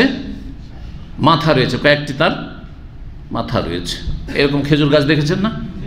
একটাই গাছ হ্যাঁ জড় শেকড় একটাই, আর কাণ্ডটা একটা হয়েছে, তারপর ডাল ফাংড়ি হয়ে গেছে অন্য গাছের মধ্যে, চারটা, পাঁচটা বা দুটো, তিনটা হয়েছে। তো এটাকে সেনন বলা হয়। সেনন? ও সেন গাইরো সেনওয়ান। চারশো একুশ নম্বর হাদিস আনাস রাজি আল্লাহ তালান বর্ণিত, কাল উতিয়া রসুল্লাহ বে মালি মিনাল বাহরাইন। রসুল্লাহ ইসলামের কাছে বাহরাইন থেকে ধন সম্পদ এসেছিল। সুহান আল্লাহ বাহরাইন থেকে। কোন বাহরাইন? এখনকার বাহরাইন? এখনকার বাহরাইনের অস্তিত্বই ছিল না তখন, নামই ছিল না। হয়তো দ্বীপ ছিল অথবা দ্বীপটাও পানির তলায় ছিল, সেটাও হতে পারে। আর দ্বীপ থাকল অনাবাদ দ্বীপ ছিল। তাহলে তখনকার বাহরাইন কোনটি ছিল? আলহাসা থেকে শুরু করে কাতিফ দারিন পর্যন্ত যা হাদিসে এসেছে আলহাসা থেকে শুরু করে দারিনের নাম পর্যন্ত এসছে। নবী সাল্লামের জামানার যেসব ইতিহাসগুলি রয়েছে, তাতে দারিনের নাম রয়েছে, আর কাতিফ নাম রয়েছে, তারপরে নাম রয়েছে আলহাসা যদিও নাম চেঞ্জ হয়েছে, কিন্তু সেই এলাকার নাম ছিল জাওয়াসা, যেখানে মসজিদে, নবীর মসজিদ জুমার পরে দ্বিতীয় জুমা কায়েম হয়েছে নবী সাল্লামের আমলেই ওই জামানাতেই। সেই ঐতিহাসিক মসজিদ অনেকে দেখতে গিয়েছেন, দেখে এসছেন হয়তো অনেকে। কেউ গেছেন এরকম? কেউ দেখে এসছেন? এই যে গেছে। আমিও গেছি, আলহামদুলিল্লাহ একবার। তো এই বাহারাইন থেকে, তার মানে এই আলহাসা এলাকা থেকে, অত কাতিফ থেকে সবগুলি তার নাম তখন বাহারাইন ছিল অঞ্চলটার নাম। এখান থেকে বেশ কিছু ধন সম্পদ গিয়ে পৌঁছিল। এখানকার প্রথম গভর্নর ছিলেন প্রখ্যাত সাহাবি আলা আল হাজরামি রাজি আল্লাহ তালানো আলা আল হাজরামি রাজি আল্লাহ তালানোকে নবিশ্বাসন গভর্নর বানিয়ে এলাকার আমির হাকেম বানিয়ে পাঠিয়েছিলেন। তার নামে একটি এখন রোড আছে, এই যে এটা হায়াত প্লাজা আছে। হায়াত প্লাজার পাশে দেখবেন যে সারেউল আলা আল হাজরামি এখানে, একটি রোডের নাম। সাহাবি। তো তার পক্ষ থেকে পাঠানো হলো নিয়ে গেলেন কে? প্রতিনিধি আবু বাইদুল জর্রাহ প্রখ্যাত সাহাবি, আশরাম বাসার অন্যতম যে আবু বাইদা ইবনুল জর্রাহ রদি আল্লাহ তালানো তিনি নিয়ে গেলেন অঢেল ধন সম্পদ। সেই ধন সম্পদগুলো ছিল দীর্ঘম হ্যাঁ রৌপ্য মুদ্রা, রূপা, চাঁদির টাকা এবং প্রচুর পরিমাণে, অল্প স্বল্প নয়, অনেক। সেটা কোত্থেকে? এই এলাকায় অগ্নিপূজক মজুসিরা বাস করত। এলাকায় মজুসিরা বাস করতো। তারা এখান থেকে ইরান কাছে, এখান থেকে ইরান কাছে, ইরাক কাছে ইরাক ইরান কাছে। তো ইরাক ইরান সব মজুসি ছিল। এই জন্য এমাম আবহারি ইব্রাহিমাহুল্লাহর বাপের নাম কেউ জানেন? হ্যাঁ? রে ভাই, আপনারা হানাফি কেমন হানাফি যে নিজের ইমামের বাপের নামটাই জানছেন না? হ্যাঁ? আর সবাই বংশগত মাশাল্লাহ সব হানাফি। হ্যাঁ? নমান কি? নাম। কার নাম? আবু হানিফ রহমল্লার নাম হচ্ছে নমান বাপের নাম সাবেদ হ্যাঁ হ্যাঁ। তারপরে? হ্যাঁ। হ্যাঁ তারপরে যে ছিলেন তার এই সাবেতের বাপ, তিনি ছিলেন মজুসি। সাবেতের বাপ মজুসি, অগ্নিপূজক। তাহলে ওই- এরাক কি ছিল? অগ্নিপূজক। এরাক ইরান তখন একটাই ছিল। অগ্নিপূজক ছিল। তো এই এলাকা তো মজুসি বাস করতো। এলাকায় কি করতো? মজুসি বাস করতো। এই জন্য একটি হাদিস রয়েছে যে আখার আখাদা রসুল্লাহ আল জিজিয়াত মিন মাজুসে হাজার। আচ্ছা এই যে আ- আলহাসা হুফুফ এই এলাকার প্রাচীন নাম হাজার ছিল। এলাকার নাম কি ছিল? রাসুল্লাহ হাজারের মজুসিদের থেকে জিজিয়া নিয়েছেন। জিজিয়া মাথা প্রতি হয়ে থাকে। জিজিয়ার পরিভাষাটি শুনে জাকাত কার উপরে ফরজ হয়? মুসলিমদের যারা সচ্ছল, সাহেবের নেশাব নেশাব পরিমাণ, যাদের ধন সম্পদ পৌঁছবে তাদের উপর কি ফরজ? জাকাত ফরজ। অমুসলিম যদি দেশে থাকে, তো জাকাত নেওয়া যাবে? না না যাইস জাকাত নেওয়া যাবে না। তাহলে তারা কি দিয়ে তারা বসত্ব স্বীকার করবে বা দেশের আনুগত্য প্রকাশ করবে? সেটা হচ্ছে মাথা প্রতি সামান্য পরিমাণ একটা জিজিয়া রয়েছে, জিজিয়া দিয়ে। এটা হচ্ছে মাথার উপর অমুসলিমদের। তাদের যে জমি জায়গা, মুসলিমদের জমি জায়গা আছে, সেগুলোতে ফসল হচ্ছে, সেগুলোর তারা ওষুর দিচ্ছে। অমুসলিমদের জমি জায়গা আছে, আর সেই জমি জায়গার ফসল তারা উৎপন্ন করছে। তো কিছু দেবে না? তারা ওষুর দেবে? অসুর ফরজ? অমুসলিমদের ওপর? না অসুর তো দিবে না। তাহলে তারা কি দিবে? তাদের ওপর একটা ট্যাক্স লাগবে, যেটার নাম হাদিসের ভাষায় খারাজ। কি নাম তার? খারাজ। জমি থেকে যা কিছু হ্যাঁ উৎপাদন হয়ে আসছে, মায়া খরজমেল আর সেখান থেকে একটা নির্দিষ্ট পরিমাণ যা শরীয়তে বিস্তারিত আলোচনা হাদিসে হয়েছে, সেটা এই খারাজের ধন সম্পদ ছিল। খারাজ যে ধন সম্পদ বা জিজিয়ার ধন সম্পদ ছিল, যেগুলি আবু জারাহ রাজি আল্লাহ তালানহ এই এলাকা, আলহাসা এলাকা থেকে বা এই পূর্ব এলাকা থেকে আরব দেশের নিয়ে পৌঁছিলেন রসুর উল্লাসের কাছে। যখন পৌঁছিলেন, তখন ভোর রাত ছিল। ফজরের আগে এখানে পৌঁছেছে। আর জানতে পেরে নিয়েছে লোকেরা জানতে পেরেছে যে যথেষ্ট ধন সম্পদ নিয়ে এসেছে একেবারে প্রচুর পরিমাণে মাল এসছে। কোথা থেকে? এই বাহারাইন থেকে। ওই কথা এখানে হাদিসা আছে। নবী সাল্লাম মসজিদে নবীতে পৌঁছিলেন, বাসা থেকে, আর বললেন অনুসুরু ফিল মসজিদ, মসজিদে ঢেলে দাও। মসজিদে কি করে দাও? ঢেলে দাও। যত নিয়ে এসছো, টাকা পয়সা, কি করো? মসজিদে ঢেলে দাও। তখন কাগজের টাকা ছিল নাকি? হ্যাঁ? না, কাগজের টাকা ছিল। কিসের টাকা ছিল? রূপার টাকায় সাধারণত প্রচলিত ছিল, যেটার নাম দিরহাম। আর স্বর্ণ মুদ্রা ছিল, যেটার নাম হচ্ছে দিনার। কিন্তু সেটা সীমিত আকারে, কারণ স্বর্ণ সবসময় একটু দাম বেশি, আর স্বর্ণের ব্যবহারটা টাকার ক্ষেত্রে কারেন্সির ক্ষেত্রে খুব কম হয়েছে, সীমিত আকারে হয়েছে। কিন্তু রূপার টাকা আমাদের দাদা, দাদার আমলে আমার, যেহেতু আমি বংশ পরম্পরা অনেকটা মনে রেখেছি আমার দাদার কাছ থেকে অনেক ইতিহাস শুনতাম মানে আমার ছোট থেকে একটা কৌতূহল থাকতো, দাদার কাছ থেকে পুরনো জিনিসগুলি জানি, পুরনো জানি। তো মাদ্রাসা থেকে আসলে দাদাকে নিয়ে বসে শুধু জিজ্ঞেস করতাম যে, আপনার আব্বা কি করতেন? তো আপনার দাদা কি করতেন? যে, আমার দাদা এই এই ব্যবসায়ী ছিলেন, তো এই করতেন। তো ওনার এ থলেতে করে, যে থলেতে করে তিনি ওই যে আমাদের দেশে বলে কাঁচি টাকা। জানেন কি না এই ভাষাটা? কাঁচা টাকা বা কাঁচি টাকা? কাঁচি টাকা মানে কি? হ্যাঁ? কাঁচা পয়সা হ্যাঁ তার মানে ওই চাঁদির টাকা চাঁদির টাকা বহন করে করে নিয়ে আসতেন। তো আমার দাদার দাদা, জি। হাজি হেমায়তুল্লাহ, রাহেমাহমুল্লাহ জামিয়ান। তো এই যুগেও ছিল, তারপরে কাগজটাকে আস্তে আস্তে প্রচলন হইল। জি। কি বলছিলাম? মসজিদে ঢেলে দাও। ওয়াকান আকসার মালিন উতিয়া বেহি রসুল্লাহ সাল্লাহ সাল্লাম। আর এই ধন সম্পদটি প্রচুর পরিমাণে ছিল। হ্যাঁ? অনেক বেশি পরিমাণে ছিল আকসার মাল, যা রসুল্লাহর কাছে নিয়ে আসা হয়েছিল। মানে বিভিন্ন দিক থেকে আসে বাইতুল মালে পয়সা, কিন্তু সবচেয়ে বড় অঙ্কের যেই টাকাটা বা সম্পদটা এসেছিল, সেটাই বাহারাইন থেকে এসেছিল। এখান থেকেই গিয়েছিল রসুল্লাহ সাল্লামের কাছে। কিন্তু সুহান আল্লাহ রসুল্লাহ সাল্লাম কত যে দুনিয়া বিমুখ ছিলেন, আর কি যে আমাদের কত সুন্দর, চমৎকার তরবিয়ত প্রশিক্ষণ করেছেন। যে সামান্যতম কোনো রকমের একটু আগ্রহ, লোভ লালসা শব্দটি তো চলবেই না। আগ্রহ যে আমারও তো প্রয়োজন আছে, আমার তো নয় নয়টা স্ত্রী আছে, তো আমি কিছু রেখে নিই হ্যাঁ? আমার পরিবারের জন্য, স্ত্রীর জন্য, আমার মেয়েদের জন্য কিছু রেখে নিই, কিছুই না সুবহান আল্লাহ তা তাকিয়েও দেখছেন না, শোনেন হাদিসটা, শোনেন, খুব গুরুত্বপূর্ণ হাদিস। ফাখানাজা রসুল্লাহ সাল্লাহ রসুল্লাহ বেরোন এলা সলাতে, সলাতের দিকে। ওয়ালাম ইয়ালতাফিত এলাইয়ের যখন সলাতের জন্য গেলেন, তখন ওইদিকে তাকিয়েও দেখলেন না যে একটু দেখি কতটা কি আছে, কি পরিমাণ আছে। একটু তাকালেন না, ওই টাকা পয়সার যে সারি লেগে আছে মসজিদের এক সাইডে, একটু তাকিয়েও দেখলেন না। তখন ফালাম্মা কাজা সলাতা, যখন ফজরের সলা শেষ করলেন, যা, তারপরে ওই মাল সামানের কাছে আসলেন। আর এসে ফাজালা আসে এলিয়ে বসে গেলেন। বসে গিয়ে এখন বিতরণ শুরু করলেন। কোথায় বিতরণ করছেন? মসজিদে নবীতে বসেই টাকা পয়সা বিতরণ করছেন বাইতুল মালের, যে এসছে এই সব ধন সম্পদগুলি। বলছেন, ফামা কানা ইয়ারা আহাদান যে কোনো ব্যক্তিকে দেখছিলেন, যে আসছে, সামনে দিয়ে যাচ্ছে, আসো আসো, নিয়ে যাও ইল্লা আতাহ দিতে থাকলেন, যাও, নাও নাও, কে নিবে, নাও, কে নিবে, নাও, কে নিবে, নাও ও, ঢালাও হবে বিতরণ হচ্ছে এমন না যে বেছে বেছে, তুমি এসো তুমি এসো, না, যে আসো আসো, নাও সুবহানাল্লাহ। তারপরে শেষ দিকে আব্বাস রাজি আল্লাহ তালান হয়েছে নবী সাল্লামের শ্রদ্ধেয় চাচা আর মক্কায় বড় ব্যবসায়ী ছিলেন, বরং সুদি কারবারি ছিলেন। সুদের বড় বড় কারবার ছিল, কারণ তখন তো কুফরের অবস্থায় ছিলেন, তারপরে আরবরা তো তখন মুশরেকরা তো সুদ খেত যেসব অপরাধ ছিল, সব অপরাধী প্রায় ছিল, তার মধ্যে সুদটা তাদের একটা বড় একটা ইনকাম সোর্স সুদি সিস্টেম জি। তো আব্বাস রাজি আল্লাহ তালান আসলেন, ফাঁকালা ইয়া রসুল্লাহ এসে বলছে, হে আল্লাহ রসুল চা চাও ভাতিজাকে কি বলতেন? ইয়া রসুল আল্লাহ এটা হচ্ছে আদব। জি।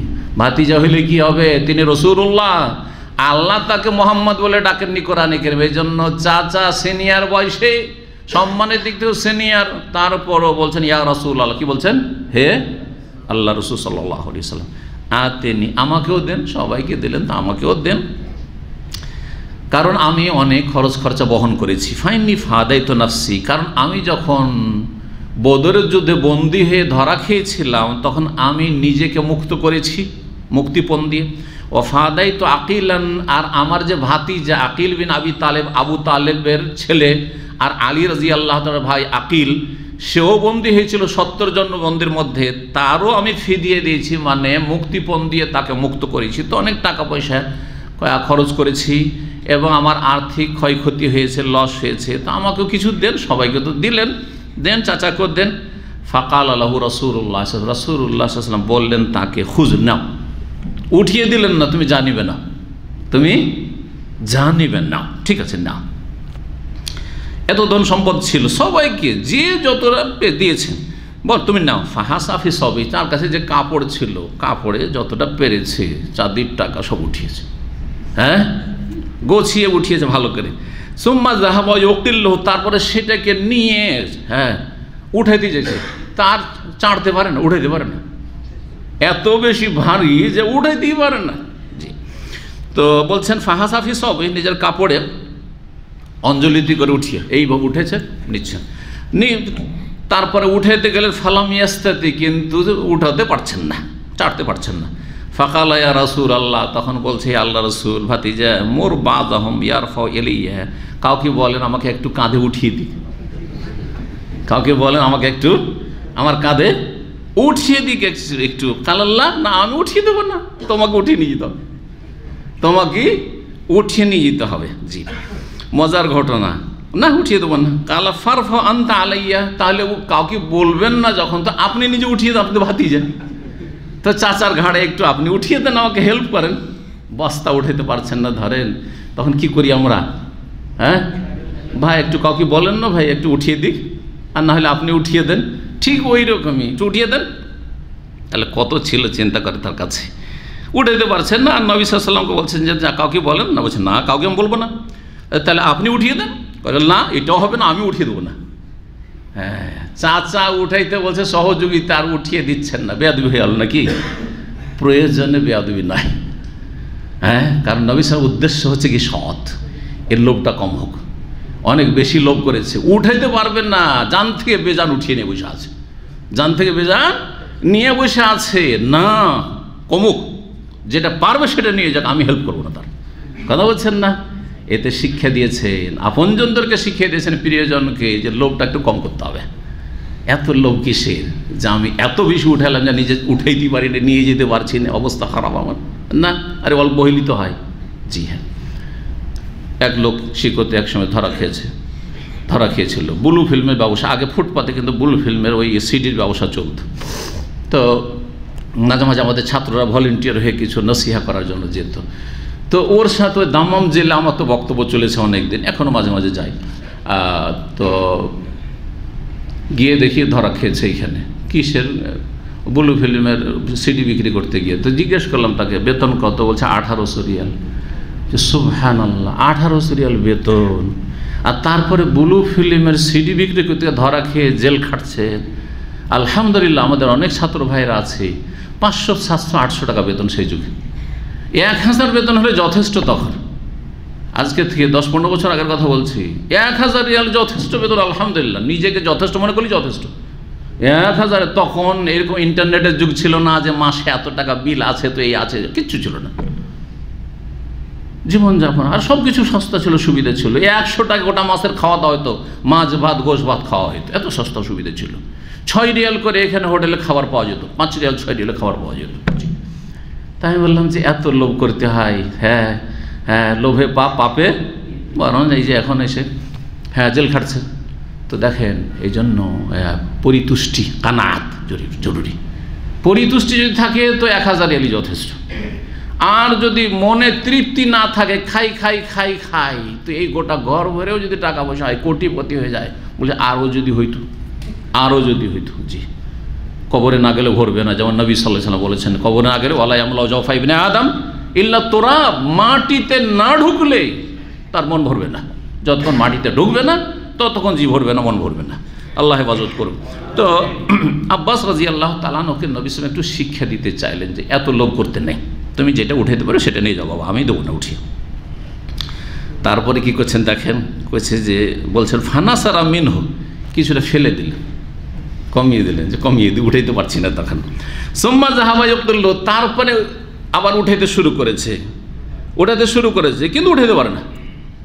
তারপরেও পারেন না। কিছু ফেলে দেওয়ার পরেও উঠাতে পারছে না। ফাকালে রসুল আল্লাহ বলছে আল্লাহ রসুল, ও মোর বাদম ইয়ার ফো কাউকে বলেন না, একটু উঠিয়ে দিকে একটু। দ্বিতীয়বার আবার বলছেন, বলছে কাল আল্লাহ না, কাউকে বলব না আমি। কালা ফারফাহ আনতা আলাই, আপনি একটু চাপিয়ে দেন আমার কাঁধে। আপনি আমার কাঁধে একটু হেল্প করে চাপিয়ে দেন। কাল আল্লাহ ওটাও করব না। দ্বিতীয়বার। ফানাসারা মেন আবার কিছু ফেললেন, কমাইলেন। জি। সোম্মা হাতাম আল্লাহ তারপরে উঠালেন। ফাল কাহ আলাকা, তারপরে কাঁধে কোন রকম করে চেড়ে উঠেলেন। হ্যাঁ? কাঁধে নিজে একা একা উঠালেন। সম্মান তালাকা, তারপরে হাঁটতে শুরু করে, বাড়ির দিকে যেতে শুরু করলেন।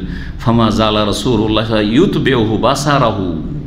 রসুল্লাহ তার দিকে তাকিয়েই থাকলে যত দূর পর্যন্ত নজর আসছে, চাচার দিকে তাকিয়ে আছে যে উঠিয়ে নিয়েছে হ্যাঁ কাঠ হয়েছে, উঠে দেবার না, তাও উঠিয়ে নিয়েছে, তাকাইতে থাকলে যে হাই রে মানুষের লোভ রে হাই রে মানুষের লোভ রে, তাকাইতে থাকল রসুল্লাহ সাল্লাহ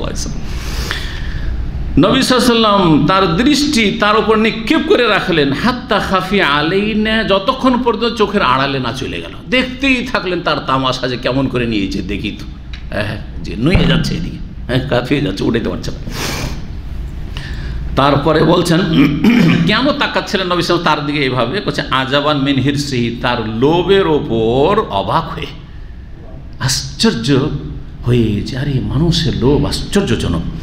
ফামা কামা রসুরুল্লাহ সেই দিন রসুরুল্লাহ সাল্লাম ওই যে ধন সম্পদ মসজিদ নবীতে রাখা ছিল, সেখান থেকে অতক্ষণ উঠলেন না। ওয়াসাম্মা মিনহা দিরহাম, যতক্ষণ পর্যন্ত একটা দেড়হাম সেখানে ছিল। সবগুলি বিতরণ করে দিয়ে, সব শূন্য করে শেষ করে দিয়ে, তারপরে উঠে বাড়ি গেলেন। খালি হাতে বাড়ি গেলেন রসুল্লাহ সাল্লাহ আলি সাল্লাম জি, তো সম্মান পয়সাতে আসে না, ইজ্জত পয়সাতে আসে না, ইজ্জত আসে আল্লাহর সাথে সম্পর্ক হইলে। আল্লাহর সাথে সম্পর্ক ভালো করার চেষ্টা করে, আল্লাহ রব্বরের ভালো করো নবী করিম সাল্লাহ আলী সাল্লাম এই তরবিয়ত আমাদেরকে দিয়ে, সুতরাং দুনিয়ার লোক কমিয়ে নিয়ে আসতে হবে। দুনিয়া কিছুই না। সব ছেড়ে এক্ষুনি যদি আল্লাহর হুকুম হয়, আমাকে আপনাকে এক্ষুনি চলে যেতে হবে। এক সেকেন্ডের মধ্যে চলে যেতে হবে। না যেতে হবে না? সুতরাং দুনিয়ার পিছনে মোটেই ছুটবে না, আল্লাহ আমাদের হেফাজত করুন। যথেষ্ট সময় হয়ে গেছে, আর হয়তো বাড়ানো একটি অধ্যায় শুধু পড়েনি, একটি হাদিস আছে। তেতাল্লিশ নম্বর অধ্যায় বলছে, বাবু মান্দু আলে তো আমিন ফিল মসজিদ। এই অধ্যায় হচ্ছে, কাউকে যদি মসজিদে খাবারের দাওয়াত দেওয়া হয়, মসজিদে বসে আছে, ভাই, চলেন দাওয়াত, আমার বাসায় দাওয়াত। জি, আপনারা আসেন, আমার বাসায় আপনাদের দাওয়াত। অমান আজাবা মেনহ, আর কেউ মসজিদ থেকেই যদি দাওয়াত গ্রহণ করে, কবুল করে, তো জায়েজ কি না? মসজিদে দাওয়াত দেওয়ার হুকুম এবং মসজিদ থেকে দাওয়াত কবুল করার হুকুম। কেউ যদি বলে যে, না, মসজিদ এগুলো কাজের না এখানে শুধু নামাজ পড়তে হবে আর কোরআন তেলাওয়াত করতে হবে। কিন্তু দাওয়াত দিয়ে বাইরে কথা বলবে। হ্যাঁ? আমার বাড়ি থেকে দাওয়াত দিয়ে আসবে। ঠিক না? আমাদের দেশে কিন্তু কুসংস্কার আছে বিয়ে শাদিতে। বিয়ে শাদিতে বাড়ি বাড়ি গিয়ে আত্মীয়দেরকে দাওয়াত দিয়ে আসতে হবে। এটা আপনাদের অঞ্চলে আছে কিনা? আমাদের অঞ্চলে আছে। আর শুধু তাই নয়, টেলিফোনে তো দাওয়াত চলবে না। টেলিফোনে দাওয়াত দিচ্ছে, চলবে না। ওই মেসেজ দিয়ে দাওয়াত দিচ্ছে কার্ড পাঠিয়েছে হ্যাঁ? আত্মীয় বাড়ি এসে দাওয়াত দিয়ে যেতে হবে। শুধু তাই নয়, বাড়ির মালিককে, অভিভাবককে আসতে হবে, ছোট ভাইকে পাঠিয়েছে, না চলবে না। না? চলবে না। আমার কোন এক ছোট ভাইয়ের বিয়ে ছিল, গল্পতে বলি গল্পটা। ছোট ভাইয়ের বিয়ে, সৌদি আরব থেকে গিয়েছি। তা আমার মামা খালাদের বাড়িতে দাওয়াত দিতে পাঠিয়েছি, আমার ছোট ভাই যেটা নয় নম্বর। তা আমি বড়, আর তারপরে ব্যস্ত মানুষ, সৌদি আরব থেকে গেছি। বাড়িতে আছি, ছোট ভাইটাকে পাঠিয়েছি, হয় আট- নয় নম্বর অথবা আট নম্বর, কোনো একটাকে পাঠিয়েছি। যে যা মামাদেরকে দাওয়াত দিয়ে, খালাদেরকে দাওয়াত দিয়ে। তো যাই হোক, মামাদের একজন মন্তব্য করেছে যে উনি যে আসতে পারে নাই? কথা বলছেন না? হ্যাঁ? ছোট ভাইকে পাঠিয়ে দিয়ে ছোট একটা ছেলেকে পাঠিয়েছে অথচ তার বয়স তখন আঠারো বিশ, যাকে পাঠিয়েছে। তারপরে আমার রেফারেন্স অথবা আমার আব্বা, তখন আব্বা হয়তো ছেলে, তার রেফারেন্সে তো যাই হোক, এই যে আমাদের দেশের কুসংস্কারগুলি আছে কুপ্রথা এগুলিকে উঠাইতে হবে। দাওয়াত দাওয়াত, কথা বলছেন না? জি দাওয়াত এসেছে। জরুরি নয় যে হ্যাঁ প্রধান ব্যক্তিকে যে সরাসরি দাওয়াত দিতে হবে, এগুলো হচ্ছে কুসংস্কার। এরকম অনেক কুসংস্কার বিয়ে উপলক্ষে আমাদের দেশে রয়েছে। যেমন বেদাত রয়েছে, তেমন পাপ রয়েছে, তেমন ইসলাম বিরোধী কার্যক্রম রয়েছে, সবগুলি থেকে মুক্ত হইতে হবে। তাহলে সত্যিকার মুসলিম ব্যক্তি, মুসলিম পরিবার, মুসলিম সমাজ গঠন করা সম্ভব হবে। আল্লাহ তৌফিক দান করেন। চারশো বাইশ নম্বর হাদিস হাদিস বর্ণনা করছেন আনাস রাজি আল্লাহ তালানহ তিনি বলছেন ওয়াজাদ্দুন নবী আসল ফিল মসজিদে। আমি মসজিদে গেলাম, তো নবী সালকে মসজিদে পেলাম। মাহুন আসন সেই সময় তার সাথে বেশ কিছু লোক বসেছিল। ফাকুম তো তখন নবী সাল্লামের কাছে গিয়ে আমি দাঁড়িয়ে গেলাম। গল্প করছেন, আমি দাঁড়িয়ে থাকলাম গিয়ে। ওই আমার দাঁড়িয়ে থাকা দেখেই অথবা ওহির মাধ্যমে তিনি জানতে পেরেছেন যে আনাস কি কাজে এসছে। অনেক সময় জানতে পেরে নিতেন ওহির মাধ্যমে জানিয়ে দেওয়া হতো যে হে হে রসুল, তোমাকে কিন্তু আনাস দাওয়াত দিতে এসছে অমুকের পক্ষ থেকে। জানতে পারতেন। অনেক সময় জানিয়ে দেওয়া হয়েছে, নবী সাল্লামকে এটাও হইতে পারে, সম্ভাবনা রয়েছে। আবার তার দাঁড়িয়ে থাকা দেখে বুঝতে পারছেন, কি ব্যাপার? আবু তালহা দাওয়াত দিয়েছে নাকি? আবু তালহা কে ছিল তাহলে? জি। তো বলছেন যে, ফাকাল আলী রসুল্লাহ সাল্লাহ ফাকুম তো যখন ওখানে আমি দাঁড়াইলাম গিয়ে, তো আমাকে বললেন রসুল্লাহ সাল্লাম আর সাল্লাহকে আবু তালহা? আবু তালহা তোমাকে পাঠিয়েছে? আবু তালহা তোমাকে পাঠিয়েছি। আবু তালহা কে ছিল তাহলে? আবু তালহা উম্মে সোলাইমের দ্বিতীয় স্বামী। বোঝা গেছে না? এ উম্মে সোলাইম হচ্ছে কনিয়া, তার নাম কি ছিল? রোমাইসা। নাম ছিল কি? রোমাইসা। আমাদের দেশের লোক রোমাইসা রাখে না। বিকৃত নাম বলে। কি বলে? রমিসা। না রমিসা না কি রোমাইসা। তসগির করে বলতে হবে, রোমাইসা। সোলাইমের স্বামী আনাসের বাপ, আগের স্বামী। যখন মারা গেলেন তখন সোলাইমের বিয়ে হলো কার সাথে? আবু তালহার সাথে। আবু তালহার সাথে বিয়ে হলো। তাহলে আনাসের সাথে আবু তালহার কি সম্পর্ক? হ্যাঁ কি সম্পর্ক? বলেন কেউ একজন। কি? সৎ বাবা সৎ বাবা। মানে মায়ের স্বামী মায়ের স্বামী। আমাদের অঞ্চলে একটা ভাষা আছে, যেটা আমাদের ভাষা রাজশাহী রাজশাহী মালদহর ভাষা একই রকম, সেটা হচ্ছে কাঠবাব কাঠবাব হ্যাঁ? কাঠবাব কেন বলে জানেন? কাঠ কাকে বলে? এমন গাছ যেটা শুকিয়ে গেছে, রস খস নেই কিছু, ঠিক না? তো কাঠবাব নামটা মনে হয় এই জন্য আমি একটা আবিষ্কার করেছি আর কি, ভাষা। ভাষার অর্থ আমি অনেকগুলি নিজেই করি, গবেষণা করি এই নামটা কেন পড়ল? কাঠবাব কেন? তো আপনাদেরকে বলছি, যেমন কাঠে কোনো রস নেই, আছে রস? রস থাকলে ওর নাম কাঠ কাঠ না, গাছ। রস যদি থাকে তো ওর নাম গাছ। হ্যাঁ কাঠ বলবে না মানুষ। কখন কাঠ বলে? যখন শুকিয়ে যায়। তো কাঠ বাপ মানে এমন বাপ যেটা আমার মাকে বিয়ে করেছে, কিন্তু তার কোনো মায়া মমতা আমার ওপর নাই। যেহেতু আমার জন্মদাতা সে নাই। আপনারা কাঠবাপ বলেন না? এই যে এটা আছে ঠাকুরগাঁয় দিনাজপুরের। কাঠবাপ না? এই যে মাথা ঝুঁকেছে। এই যে কাঠবাপ মানে তার রস খস কিছু না, মায়া টায়া নেই।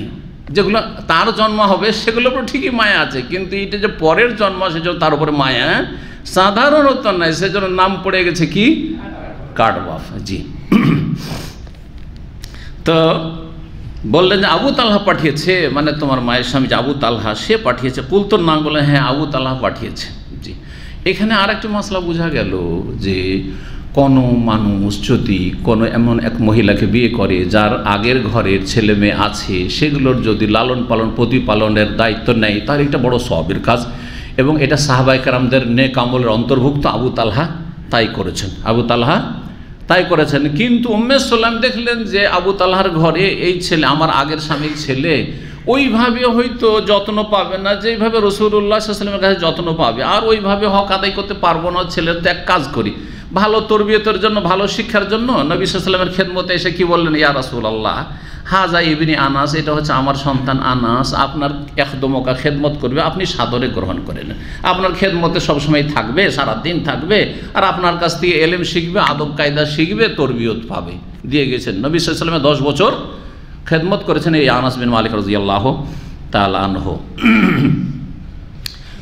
বলছেন যে আবু তালা তোমাকে পাঠিয়েছে বলছে হ্যাঁ কুলতন নাম ফাঁকা লাগলে তো আমিন খাবারের জন্য মানে দাওয়াত দিয়ে পাঠিয়েছে কুলতন নাম যে হ্যাঁ খেতে ডাকছেন আপনাকে ফাঁকাল লেমান হলো বলে পাঠিয়েছেন আবু তালা যাও আস্তে করে কানে কানে বলবে রসুল্লাহ সাল্লামকে যে আপনাকে আব্বা খেতে বা আপনাকে আবু তালহা আনসারি খেতে ডাকছে কিন্তু এসে যখন ওইভাবে বলা বলি হয়ে গেল, তারপরে নবী সাল্লা সাল্লাম তার সাথে যে বেশ কিছু লোকেরা ছিলেন, সবকে বললেন যে, দেখো, চলো, খেতে চলো। খেতে চলো। এখন আনাস ছোট ছেলে, উনি তো পেরেশান হয়ে গেছেন। দৌড় দিয়েছেন। দৌড় দিয়েছেন ছুটেছেন ওই বলার জন্য আবু তাল্লাহকে যে, এই তো কাম খারাপ। আমি গিয়ে বললাম রসুল্লাহ সাল্লামকে যে আপনি আসেন, আপনাকে খেতে ডাকছে। তো বলছেন চলো, তোমরা চলো। তোমরাও চলো। এমন বাড়িতে অল্প খাবার আছে। অল্প খাবার আছে, জি। নবী সাল্লাম বললেন লেমান হাউলহু তার চারপাশে যেসব লোকজন ছিল তাদেরকে, সাথী সঙ্গীদেরকে, কমো, চলো, সবাই চলো, জি।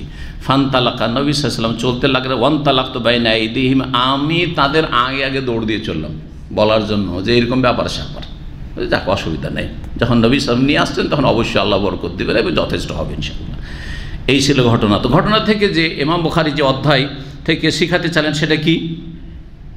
নবী সালাম মসজিদে বসেছিলেন। আর মসজিদিকে আনাস কী করলেন? দাওয়াত দিলেন।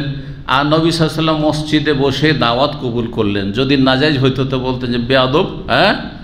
জানো না তুমি যে মসজিদের তুমি আদবের খেলাপ কাজ করছ? মসজিদের বাইরে যখন যাব তখন কথা বলবে। মসজিদের বাইরে যখন যাব তখন কথা বলি, কথা বলেন। সুতরাং মসজিদে দাওয়াত দেওয়া জায়েজ, মসজিদে দাওয়াত কবুল করা জায়েজ। প্রয়োজনে মসজিদে বসে খাবার মসজিদে যদি দুর্গন্ধ না হয়, মসজিদ কমিটি যদি ওনাকে না আমরা খেতে দেবো না সেটা তাদের অধিকার আছে। কারণ গন্ধন টন্ধ হয়ে যাবে। যেমন আমাদের মসজিদে খেতে দেবেন আপনাকে। এখানে বসে খান, কিন্তু মসজিদে আমরা দার্স করেছি, তখন আমাদেরকে মসজিদের মধ্যে খাওয়ার আপনাদেরকে অনুমতি দেওয়া হয়নি। মাঝে মাঝে এরকম প্রোগ্রাম আমরা করেছি। মসজিদে, তখন ইসলামী সেন্টারে এসে খাওয়া দাওয়ার ব্যবস্থা করতে হয়েছে। যাই হোক, সেই অধিকার আছে মসজিদের মালিকদের। জি। জাজাকুমুল্লাহ খের এখানে আজকের আলোচনা শেষ করছি। ওসল্লাহ সাল্লাম রবিয়ান মোহাম্মদ ওয়ালা আলহি ওসাহাবি আজমাই